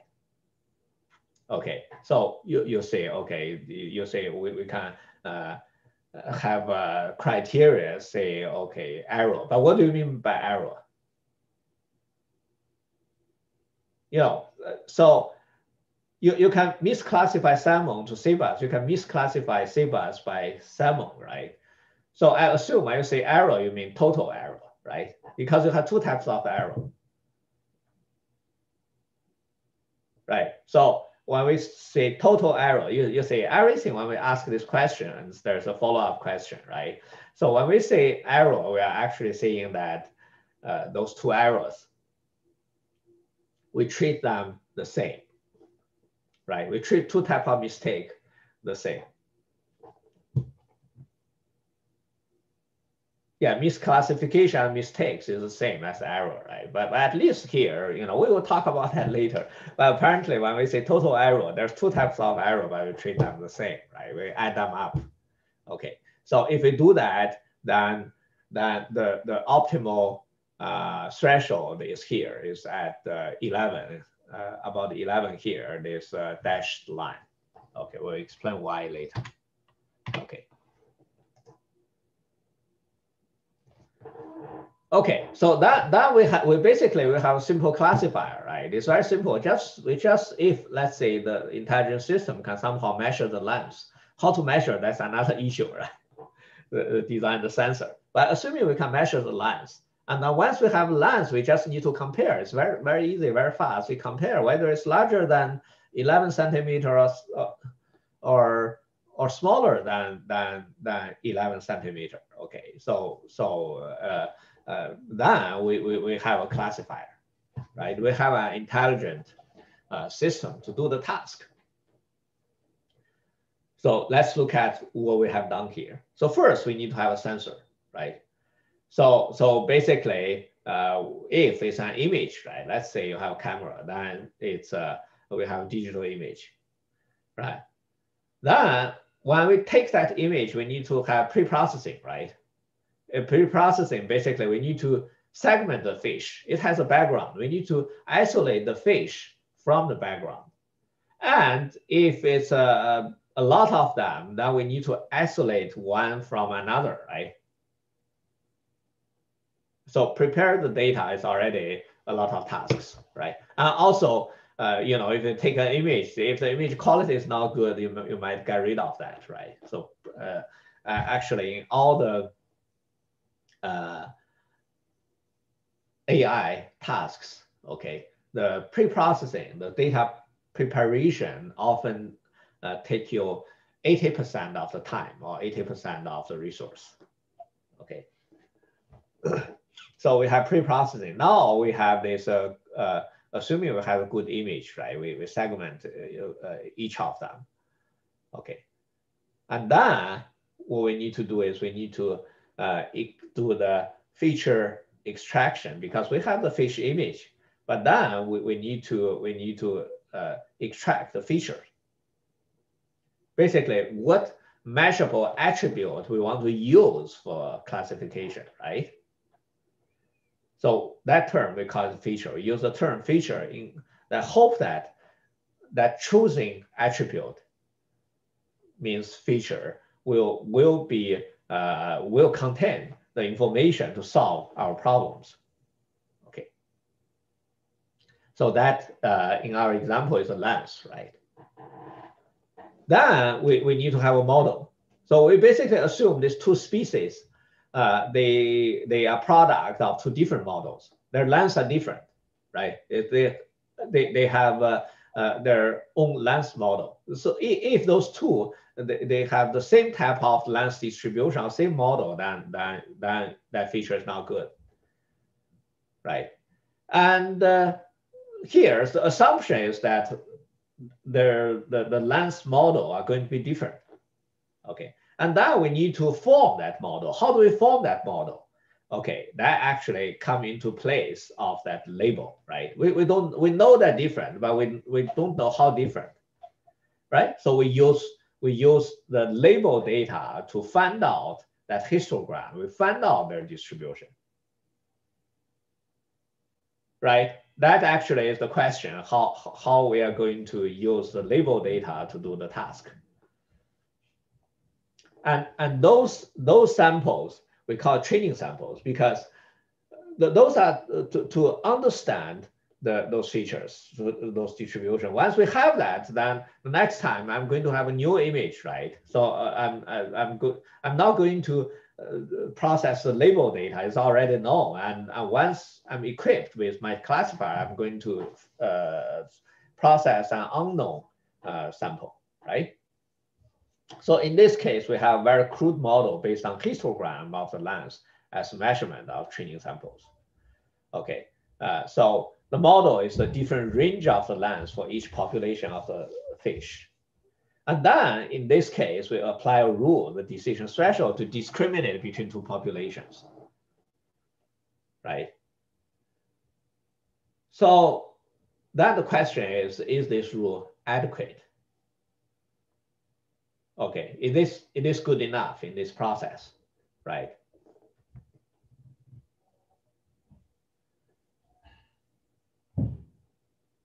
So the first thing we know that uh, the first thing is not good enough in that it's ambiguous, right? There, there are error, error rate, right? There, there are mis mistakes. Okay, so, so basically, if I set threshold here and anything red on left uh, uh, uh on left side uh, is mistake, is an error, uh, and anything on the right side black is an error.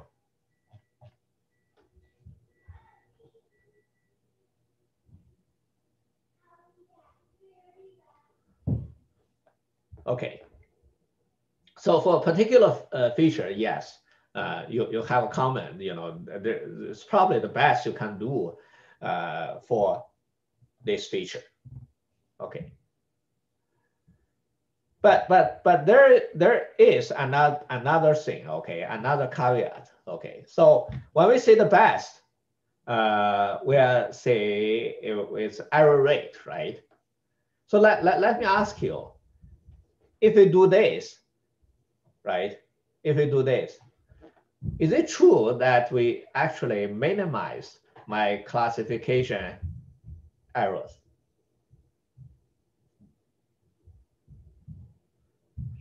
It's a simple question, right? Simple problem. But so looking at this histogram, and then if we do this, we say, okay, now we have classifier. And then we, I go out that claim. I say, okay, my classifier using the lens the you know just use this threshold, this will for sure give me the minimum uh, error rate. Is that the right statement?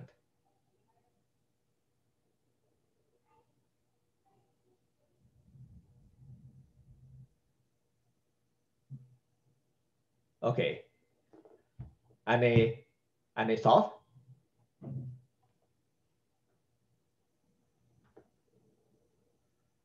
So there's answer say no on the seabass side, there is a high chance.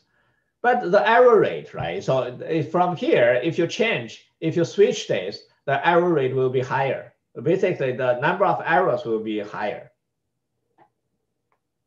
We'll, we'll, we'll get there later, but, but that's not, not what, what I want you to pay attention to.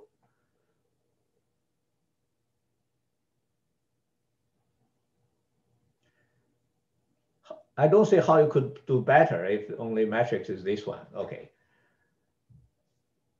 So so that's reasonable. But but what else we can we can uh, you know uh, even if with the lens, right? If we want to do better, what else we can do?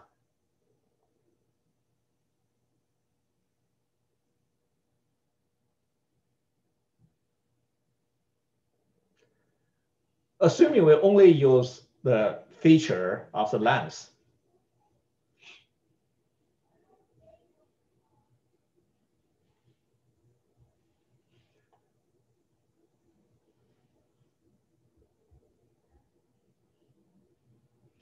Okay, you're thinking about things too complex. How about this? How about this? If I get more label samples, is it possible I might do better?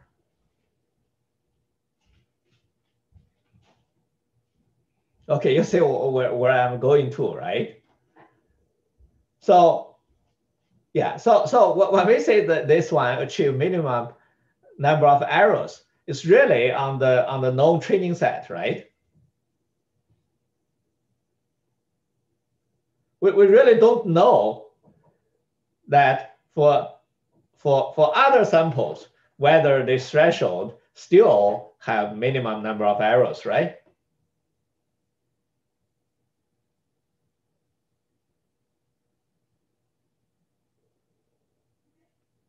Right, it's simple thought process, but but this actually is, uh, is very profound. It, it, applies to uh, you know all the learning process. Okay, we'll, we'll get back to that.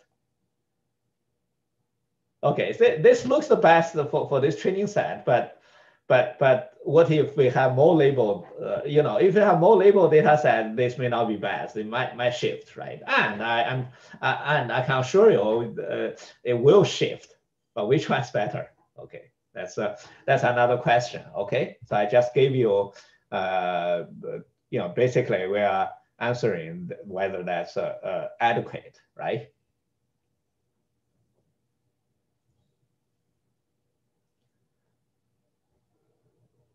Okay, you, you, you, you, have, you have a few questions regarding because I kind of opened the Pandora's uh, box. Okay, I'll get back to that uh, later. Okay, so in terms of the uh, in terms of all those criteria and problems.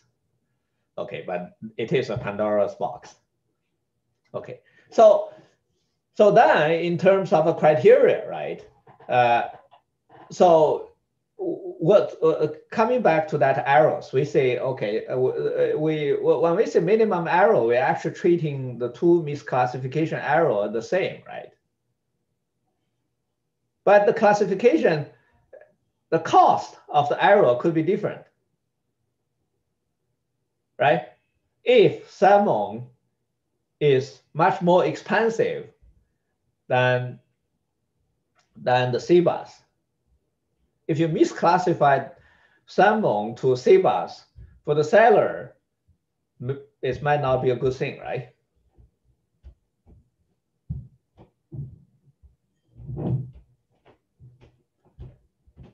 So the mistakes, the two types of error may not be equal. Some may be worse than others, right? But which one is worse? Uh, in this particular example, depending on who you ask, right? If you ask the sellers, uh, he will say that, okay, if you misclassify my high, high price stuff to, to low price stuff, that's bad, right? But if you ask consumer, that's uh, other way around, right?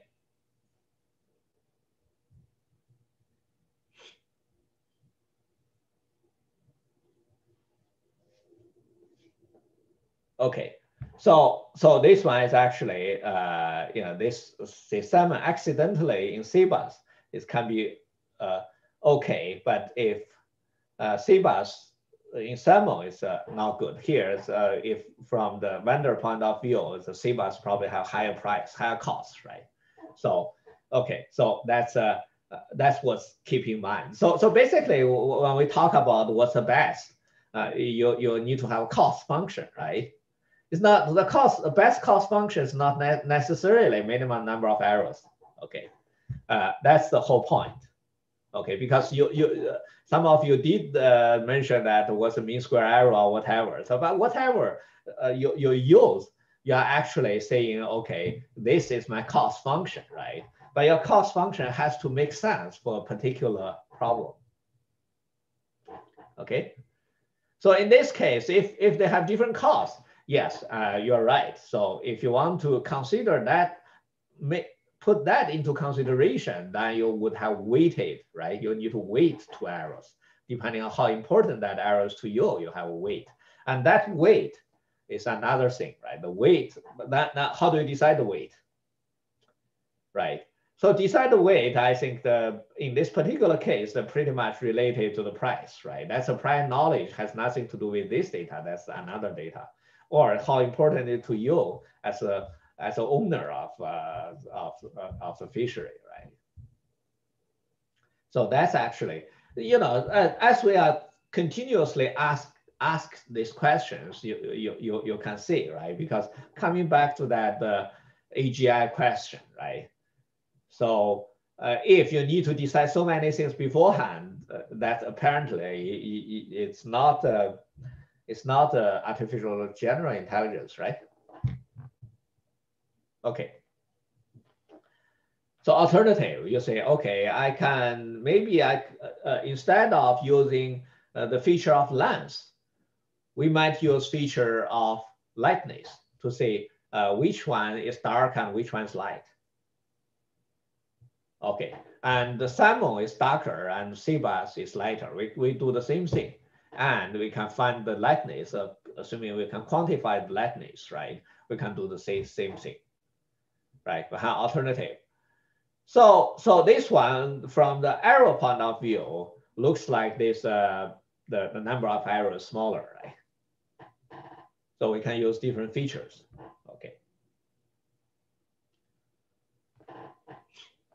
So uh, the classification, right? Uh, basically, we have, uh, uh, uh, you know, the, the examples would be a biometric systems. We, we basically want to learn the biometric signature, right? And, and what, what, what, what I've just seen is, is kind of, it's the simplest case, right? The length and lightness, both of them, we can consider that as a biometric uh, signatures of fish, right? For human, we have other things. We it, we said that uh, examples include the fingerprint, gait, that's walking pattern, or your signature, your autograph, uh, face, or facial expression, iris. Okay.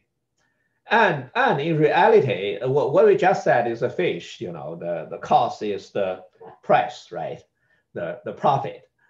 But but in many other cases can be very mission critical, right? So the incorrect classification could be detrimental. Remember in last class, I give an example. I say, okay, if you want to kill a terrorist and, and you have the picture, you want to use face recognition and then use the guided uh, missile to kill the terrorist. Uh, that causes the, the, the, the false alarm, right? That error cost would be very high, right? Because you if you if you recognize the wrong person, it's uh, the cost is uh, the life of the person, right? But on the other hand, you know, it the the the example we gave is the cost that you you you you miss this guy is probably uh, the nuclear attack of the, let's say the city of Toronto, right? So there's a you know uh, in reality, for those mission critical tasks, the cost could be detrimental. You have to, uh, but those has to be considered very carefully. Okay. So that's related to the decision theory, right? So you have classification, uh, but that's related decision. So that's a relationship between the choice of the decision boundary and associated uh, cost. So you want you want your decision boundary such that your cost is minimized, not just error, right? So that you need to convert your error to the cost. Okay. Now, what if the minimum cost is still unacceptable? Unacceptable. Then you abandon your algorithm, right? So okay, this this uh, algorithm doesn't work. You you basically you fail the task right? Then what do you do? Develop a new one, right? You consider additional features, right? This happens all the time. So uh, then, then we, we want to, you know, if uh, one feature is not good, we consider another feature. And oftentimes, the, uh, the single feature is not enough. We need to consider multiple features together, right? So now, with each training sample of the fish, or each sample of the fish, now we actually represent this uh, sample into a measurement vector. We call it feature vector. We, in this case, we have two dimensions assuming we consider two things, uh, the lightness and width, right? Then we have, uh, we have a vector, feature vector and multi-dimension, right?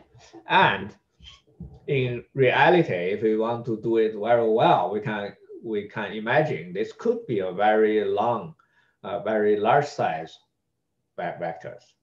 Okay, and so this is the first uh, uh, you know, formulation. That's why the mathematics algorithm is so important, right? Because at the end, we're, we're dealing with uh, uh, those vectors. Okay, two-dimensional space is certainly better than one dimension, right? Assuming, uh, of course, this is this is two things, uh, not length. This is width and this is lightness, right? If we only do width, is, is, is apparently is not good enough. And if you only do lightness, also we have a lot of errors. But if you do two together, you know, we can we can have a, you know, jointly we can have a decision boundary, right?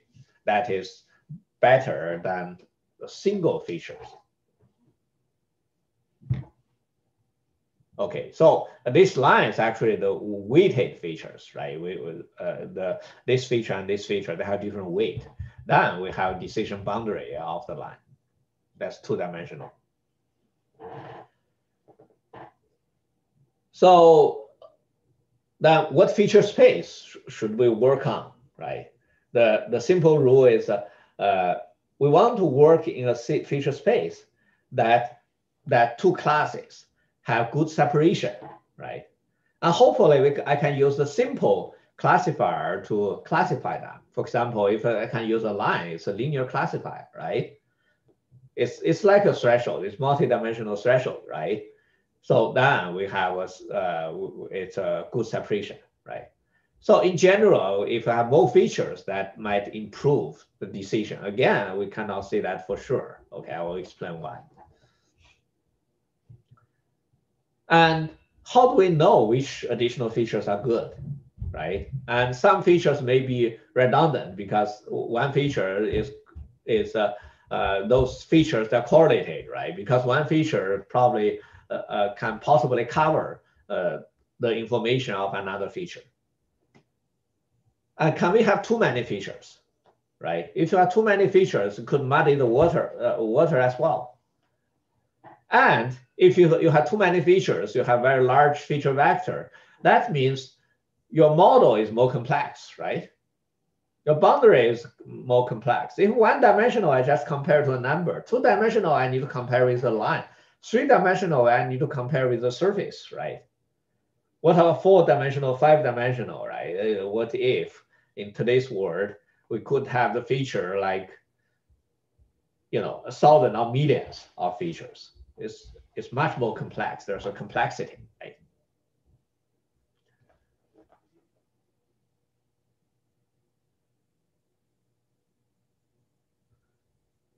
So, so and uh, ideally, you say, okay, in an ideal world, we say it's 100% accurate, right? For this particular case, can we find the bound boundary that's uh, 100% accurate? Right? So in this case, we can, okay, we can, if, if we can have a nonlinear classifier, we do this, it's actually 100% accurate. But what's the problem of that? You, you say overfitting. Well, what does it mean by overfitting?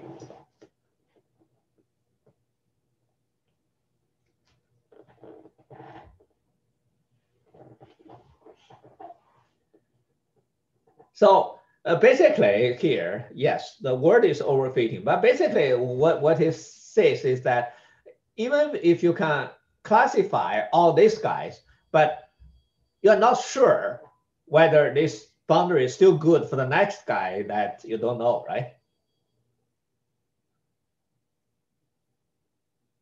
Okay, so, okay, and I see a few questions, let, let me see. Uh, for, fish, uh, for choosing the feature, do we calculate the correlation? Okay, well, we have a systematic way to look at the correlation between the features. Okay, yes.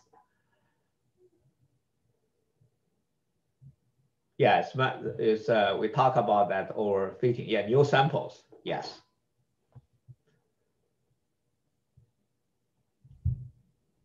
Okay, I think you are, you have good understanding of the overfitting. You are you are you are always uh, so uh, uh, that's why I, I think last class I, I, I told you there's nothing hundred percent right.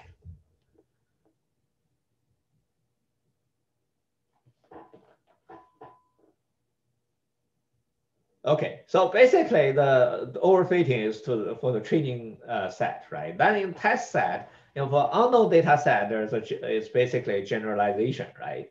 So uh, so whether we, we can generalize our classifier to un, unknown samples.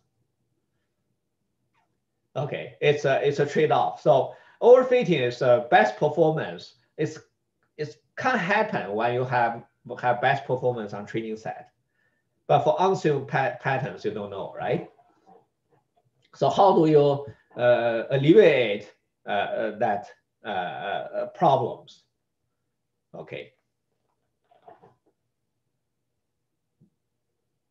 So we start from the, uh, the, the uh, uh, last one. If we have simpler models, we have fewer parameters. in general, it could possibly have a more, more general solution uh, more, more it's, it's, it can be uh, better in terms of the generalization. Okay, so a simpler model, like uh, between the linear model, right? So in general, this one probably generalized better than this one, although the performance of this one is not going to be as good as this one on training data set. Okay, but again, uh, we this is this is a uh, just a, a sum of rule rather than uh, the, the, the, the absolute mathematical proof. Okay.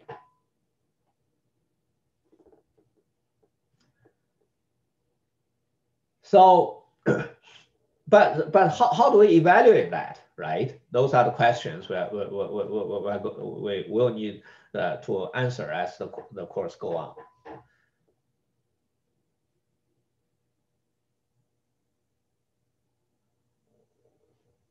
Uh, also, if you have too many features, that, that can be the problem, right? Let's say for a particular uh,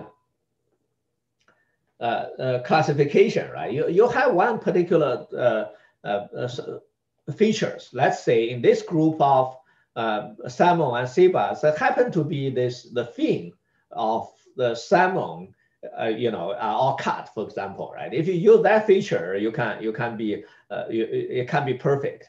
However, because it's, it's artificial, it won't apply to an unseen sample, right? So you need to be careful there uh, as well.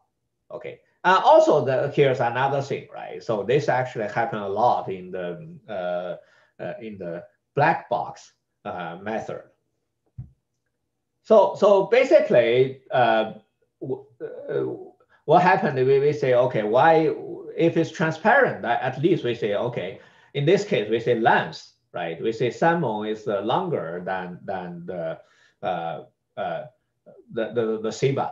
Okay, so this is transparent. We know why this guy, uh, why we make that decision. We say from the lens, right? If it's black box method, let's say you input the image and output just tell you a salmon or bass. You may not know which feature played uh, that role. In, in that case, that feature could be biased toward the training data. Okay, you, you see my point? It could be that like, you know, for a particular light, lighting condition, right? You happen to pick up that lighting condition for your particular camera. Okay, if, if that lighting change, then it, it, it, it, it could, could, could be a problem, right? So, so that's the uh, one, one thing. Okay, we'll get back to that again. So the, the, the thing, well, one reason people sometimes uh, uh, it's not that confident to a black box method like neural network because in black box you start from the raw data but you don't really know which feature uh, it actually used to make the decision. Okay, so the trade-off we say linear is not not that good, but but you know that uh, uh, curve is not that good. Well, what if be in between, right? So it could be better to say, okay, what if it's quadratic? So uh, those those are the issues that we actually the options we we can have. Okay. So basically, there's different models in terms of classifier, whether it's linear, quadratic, or neural network. Okay, all type of classifier, right? So when we consider that, those are the factors. But uh, here, I we, we don't have a universal universal rule, uh, at least not universal absolute rule to to say okay, this classifier must be better than another. Okay, we will have to look at the specific problem and data set. Okay, so uh, let's uh, come back to say for pattern recognition systems, right? So what is, what is the general structure and the general design cycle uh, in this uh, uh, pattern classification system?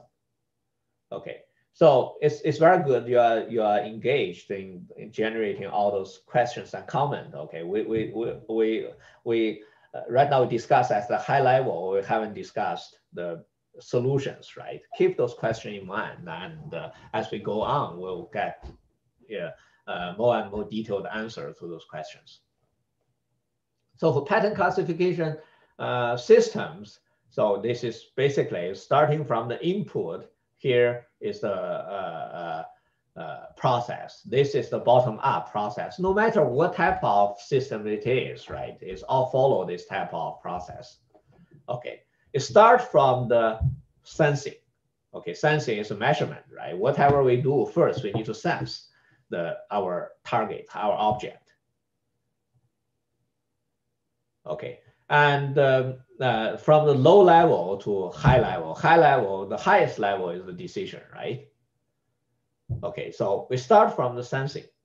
Uh, the sensing is, uh, you know, the sensors, right? Sensors, what, we know, like, uh, uh, you know, uh, camera, right? Capture the image or video. And actually there's different camera as well, right? You can have depth camera or infrared camera or regular camera. And you can uh, pick up the sound, right? The microphone, microphone array. Or you can have a bump switch, that's uh, for a robot. Or you can sense the temp temperature. All type of the uh, sensors can be used. And uh, apparently there's uh, limitations for different sensors, right? Uh, you know, it uh, can be hardware or you know the the cost of you know you know the physical environment, right? Uh, the regular camera may not work well in, in, in a dark room. and uh, the, the uh, microphone array may not work, work well if it's uh, too noisy, in a very noisy uh, environment. Okay, and then once you sense the data, you collect the data, then you need to do pre-processing, right? With that, we uh, basically you need to do segmentation, that to, to, to segment and grouping. So, so based for your particular problem, you need to identify uh, your, your samples. Okay, so, so what, basically you need to identify your target. Okay, what, what you're looking at.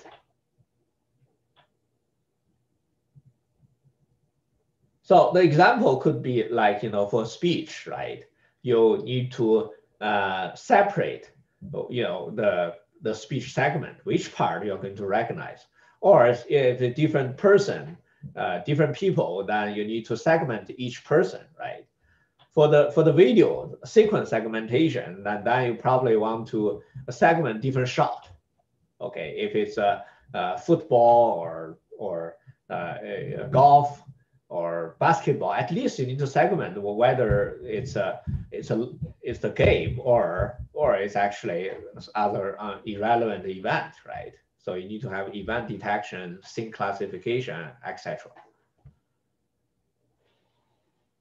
So for example, uh, here is like uh, is a video shot segmentation. It's that you know this is one thing, this is another thing, right? So basically, uh, you want to make sure uh, you want to segment the video. So uh, that is a unit of your sample for you to do your classification or recognition tasks.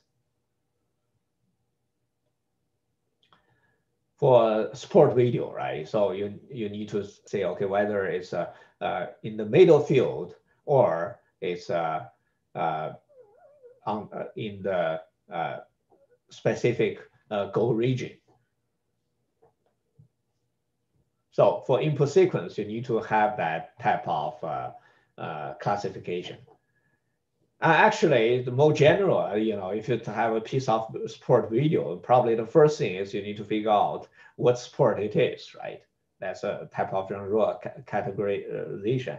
And then you need to have some type of middle level view labeling, like whether it's long view or it's whether it's close up, right? So you need to have those type of high level event uh, detection, but whether it's a, a, score event, right? Whether it's a goal event, it's a shoot.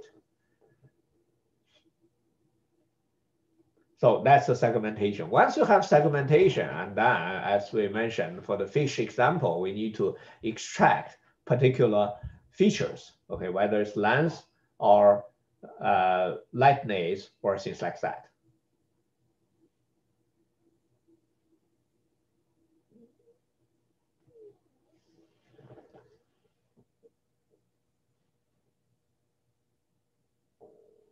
So, so how do you, uh, you know, for feature extraction, you know, the feature is also related to a, a classifier, right?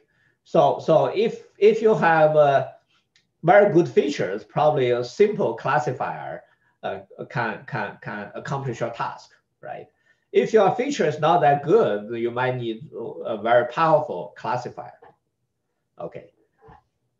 So so uh, it's uh, uh, it's all possible, right? And also it's actually go back to sensing, right? So, so if your, your, your sensor can pick up the good measurement, then you probably don't, don't need to have a very good classifier, right?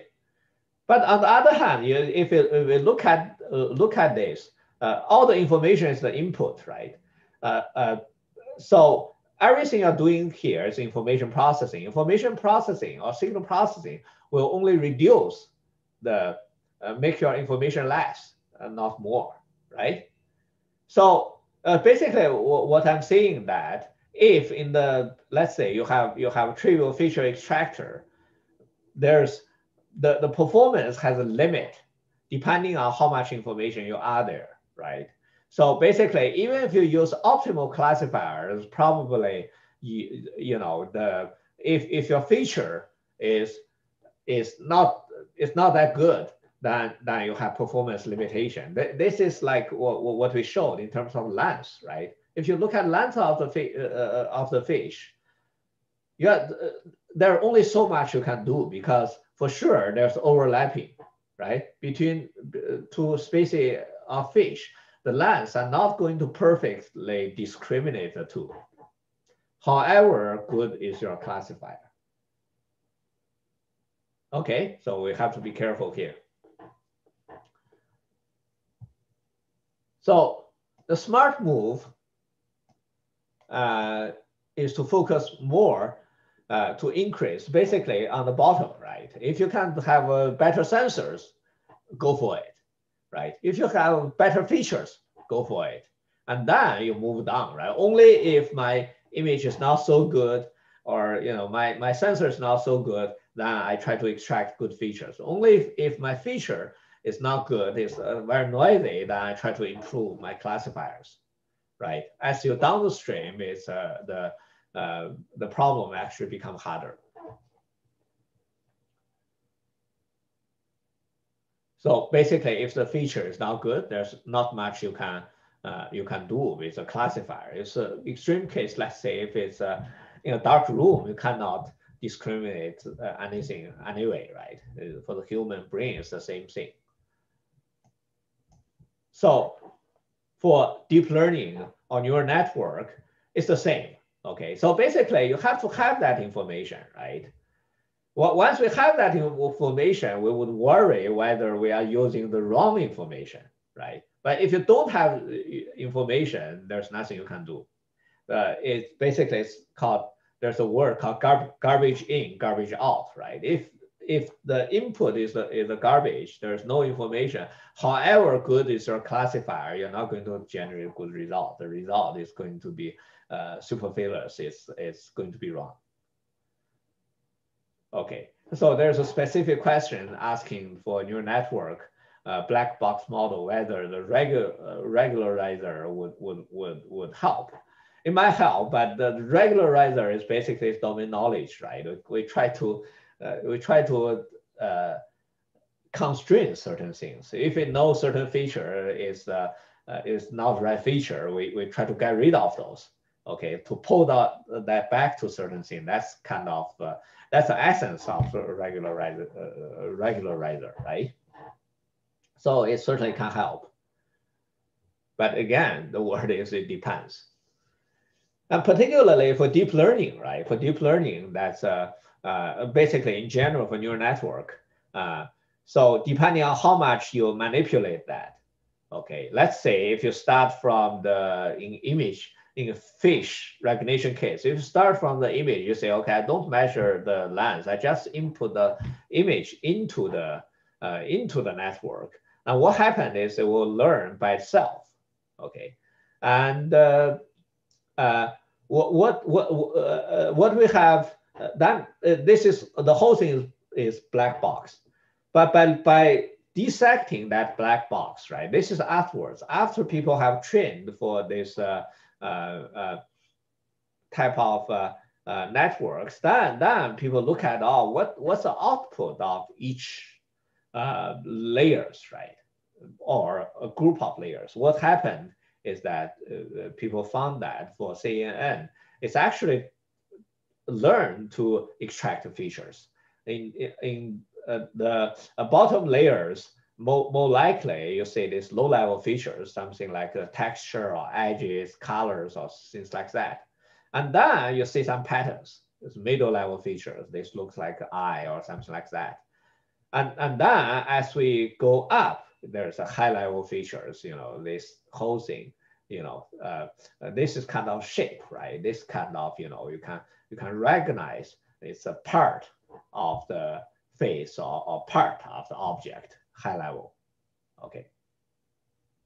But, but the problem is that uh, we, we, we don't, we possibly, we don't know uh, because it's learned by itself. It's, it's black box. We don't really know what's in there, right? It's only afterwards we're looking at it. And, and think about it, if it's a 100 layers, uh, even if we know it's these features, but we still don't know the final classifier for these particular features, how much, what's the weight to the final classifier, right? Because it's after so many layers, you don't know what if this one change a little bit, how does that would, uh, uh, how would that affect your result? You just don't know.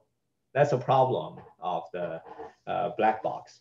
But, but on the other hand, it also verifies uh, the process in terms of pattern classification system is indeed is uh, also learn to extract the feature uh, automatically. Okay, so uh, the, the difference is whether we people, we manually choose the feature or you choose the feature automatically. Okay. So in terms of the feature extraction, so uh, one thing we want to uh, do is we, we hope we can extract feature uh, that has invariance uh, uh, property. What, what does it mean by invariance? That means across the samples, right? It's a common features for the same class, right? For, for all samples, you know, it's kind of the common features. It's not, uh, you know, have significant difference from sample to sample. And also it's, uh, it's uh, uh, invariant to your, to your uh, sensor conditions, right? For example, if we choose a, a uh, choose a uh, feature, uh, we, we hope that no matter how you uh, let's you have camera, right? Whatever is your direction, that feature doesn't change, right? Hope that type of feature, right? If we say the lens is, is already uh, kind of have invariant features, but but if we, we, we just say uh, for the fish image, right? Let's say if for the fish image, if, if we just say, okay, if we have this bounding box with the length of a bounding box, then you have a problem because what if the fish, uh, you know, your picture, the, the orientation is not right. What, what's this if it's rotated, right? Then it's not sample invariant. So we want the feature to be invariant across uh, the, the, the different samples. Okay, so we, the criteria we want is similar between the objects in the same class, but we want it different to be uh, uh, for the different classes, right? So uh, the invariance uh, here, here basically is some examples, right?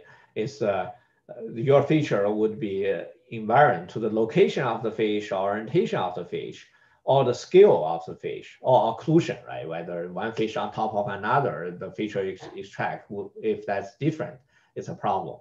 Or projective distortion, right? Uh, or uh, speech rate. If you want to do the speech recognition, we hope that the, the feature uh, is, is uh, the same. It's, it's, it's the same if you have speech speed, right? But again, that's depend on your task. If your task is to recognize speaker, maybe the rate of the speech is an important feature for the speaker, right? For speaker recognition. But if your task is just to recognize the, the speech itself, right? Then your feature better to, to be invariant to the rate. And also various deformation, hopefully your, your uh, feature is invariant to those uh, deformation.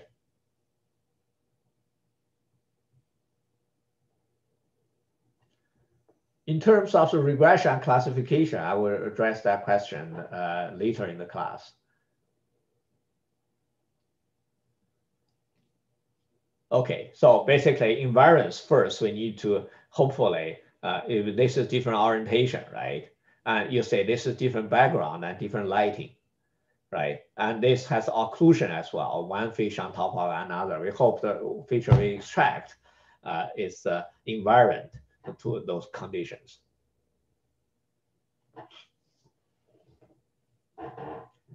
So from there, we also can see that the good features, they are highly dependent to the task and domain. Okay, it's a task dependent. So basically the feature good for sorting fish may not be good for identifying fingerprint or classifying video scenes, right?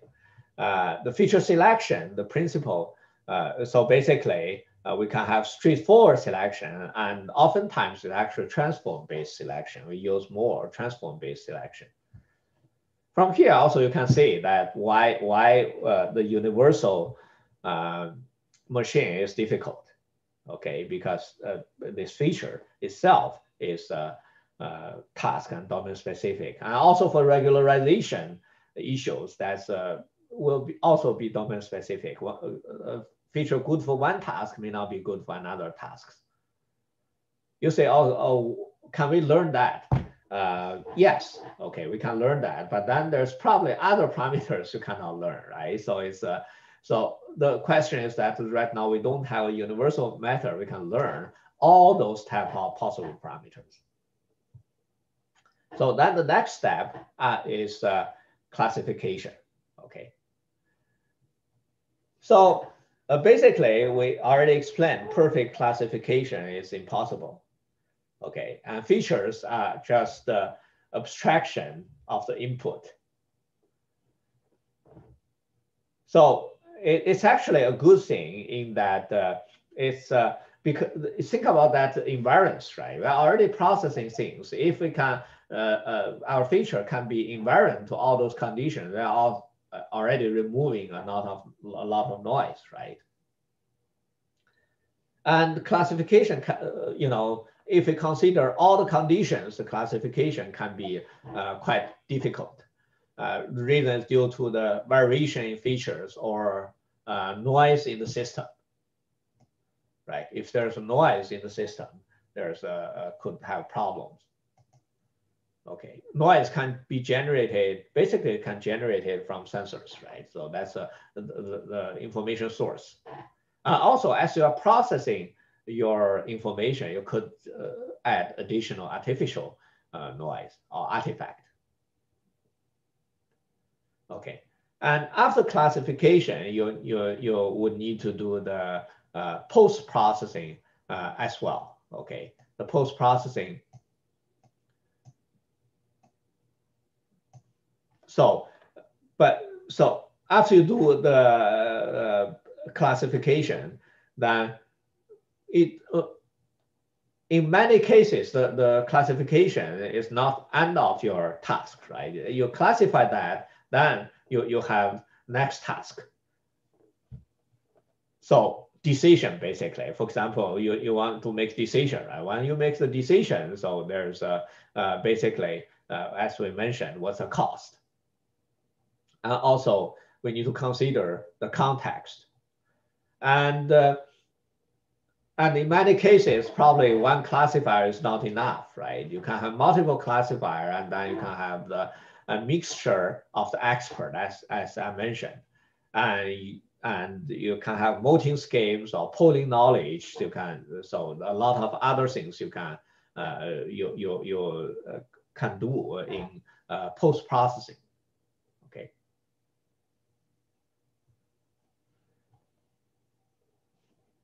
So here, here are some examples, right? Minimum, minimum classification errors. Uh, so basically, in the lens case, uh, you want to move this, change the decision boundary to minimize your classification errors. Okay, if you have another uh, feature, uh, the same thing.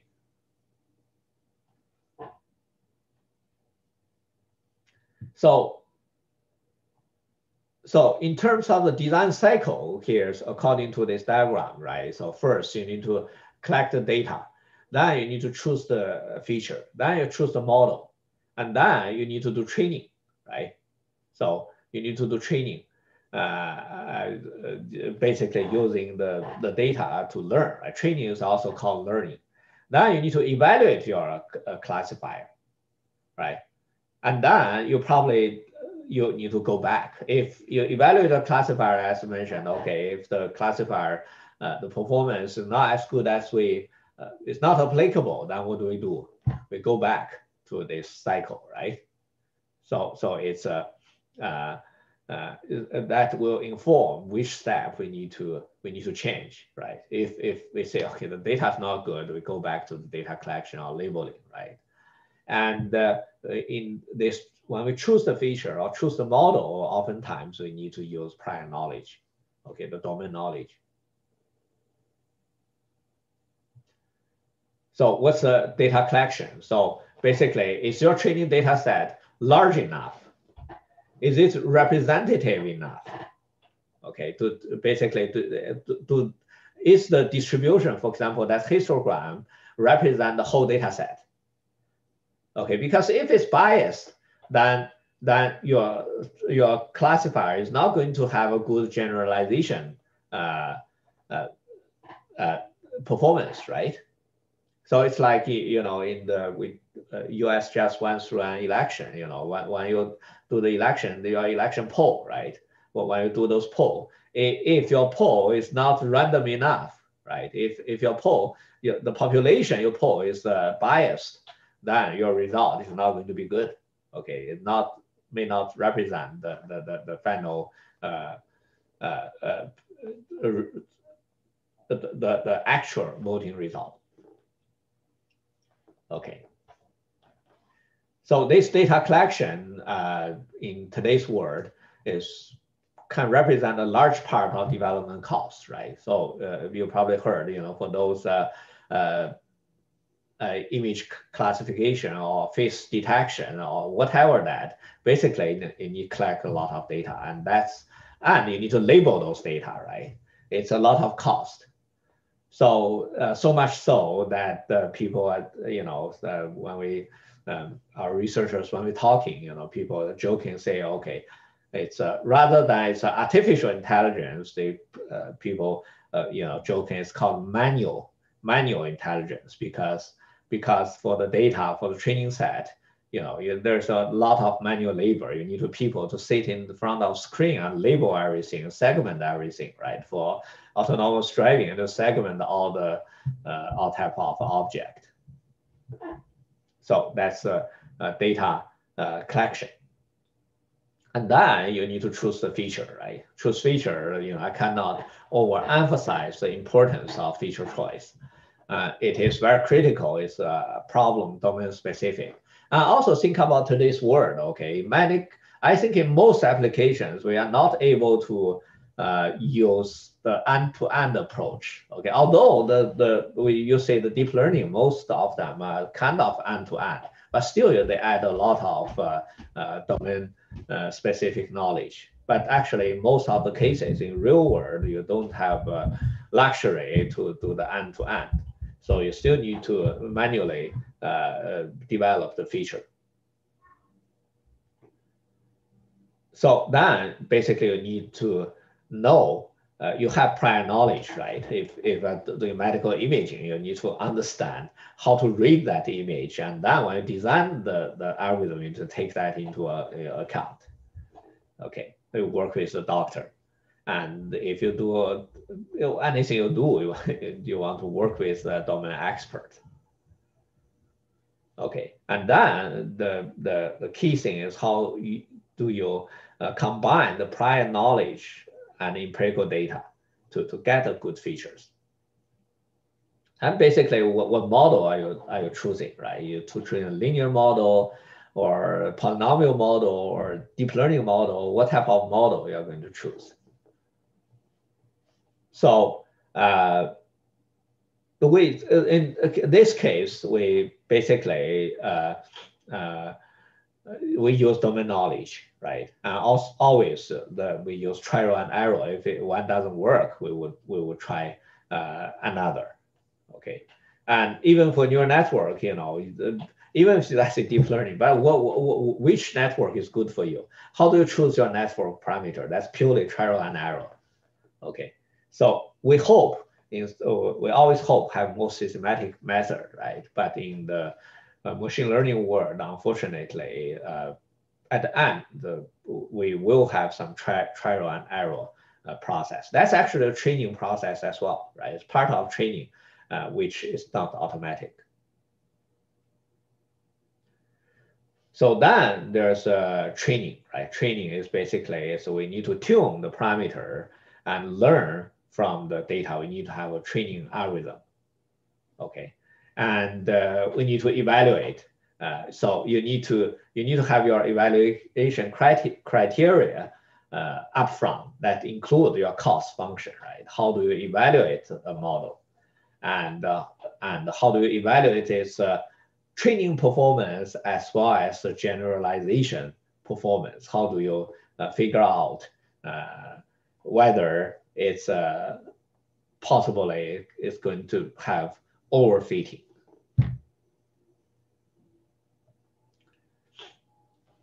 So, and uh, also there's a computational complexity you need to consider, right? So whether uh, this is the, the your, your uh, model uh, at the end is unpractical because of the computational cost. Okay, uh, so I will stop at this, this slide. Now I will elaborate a bit more in terms of learning uh, paradigms. Basically, the majority, I would say 99% of the uh, intelligent system we are looking at today, including deep learning model, is supervised learning. That is with a teacher, okay, with the label data. Of course, ideally, we hope that we can achieve the unsupervised learning that is without teacher. There's no labels, okay, and we can infer the structure from natural redundancy found in the data. Okay, those are two the major paradigm. And then they say, oh, what if we have the partial data label? That's called semi-supervised learning. Uh, also, instead of unsupervised, with uh, uh, now there's a popular uh, one. It's called reinforcement learning, right? So we, we don't have label, but we have a critique. Basically, I will tell you uh, yes or no, right? It's, it's very costly. Then in the game, this is uh, we can use there's reinforcement learning mechanism. That is fine because it's a perfect information, right? You play the game at the end like AlphaGo, that's what, what, what, it does, right? And AlphaZero, it, it initially it used uh, human, uh, uh, you know, use supervised learning, you use, use, use, human play as a teacher, but later it learned by itself. That is actually reinforcement learning because, because it's uh, learn from the result, right? I don't know my move, but I know the finally whether I win or not Okay, the, because for the game, there's a win or lose, right? So, but as we can see, you have to generate, because so many steps in the game, right? You have to generate, uh, um, it's not hundreds of thousands, millions of millions of game to be able to uh, figure out uh, from the final result, figure out your, your uh, uh, particular step, whether, whether that, that's the right step or not. Okay, so that's pretty much the uh, introduction part. And we, we haven't get getting very technical yet. It's uh, conceptual, and for conceptual, you have a lot of questions. That that is good. Keep those questions in mind. At the end, we hope to solve those uh, questions, answer those questions, use the use equations, right? If we have equation, that that's good. We can compute, right? If we don't have equation, we cannot compute. The computer uh, only deal with equations, right? Okay, so that's for today. Uh, so uh, make sure you get familiar with the, all the labs and uh, uh, uh prepared with the, some some. Uh, the, the, last week we have this you know probability things right because we are going to go to the Bayes theory So make sure you if if you haven't yet reviewed some the probability and st statistics you have learned in your uh, undergrad study. Okay, that's for today. Uh, let me see.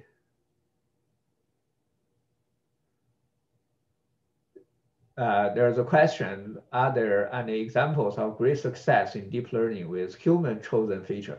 Uh, there's, there's a lot, okay. Uh, so basically, uh, you know, the, your deep learning can start from human chosen feature or combination of the raw data and human cho chosen feature. Okay, so um, that's a short answer to that question. Anything else?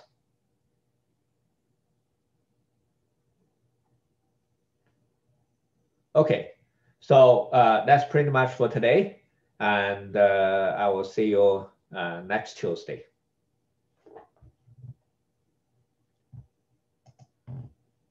Okay, so bye for now. Bye, Dr. Chang. Thank you.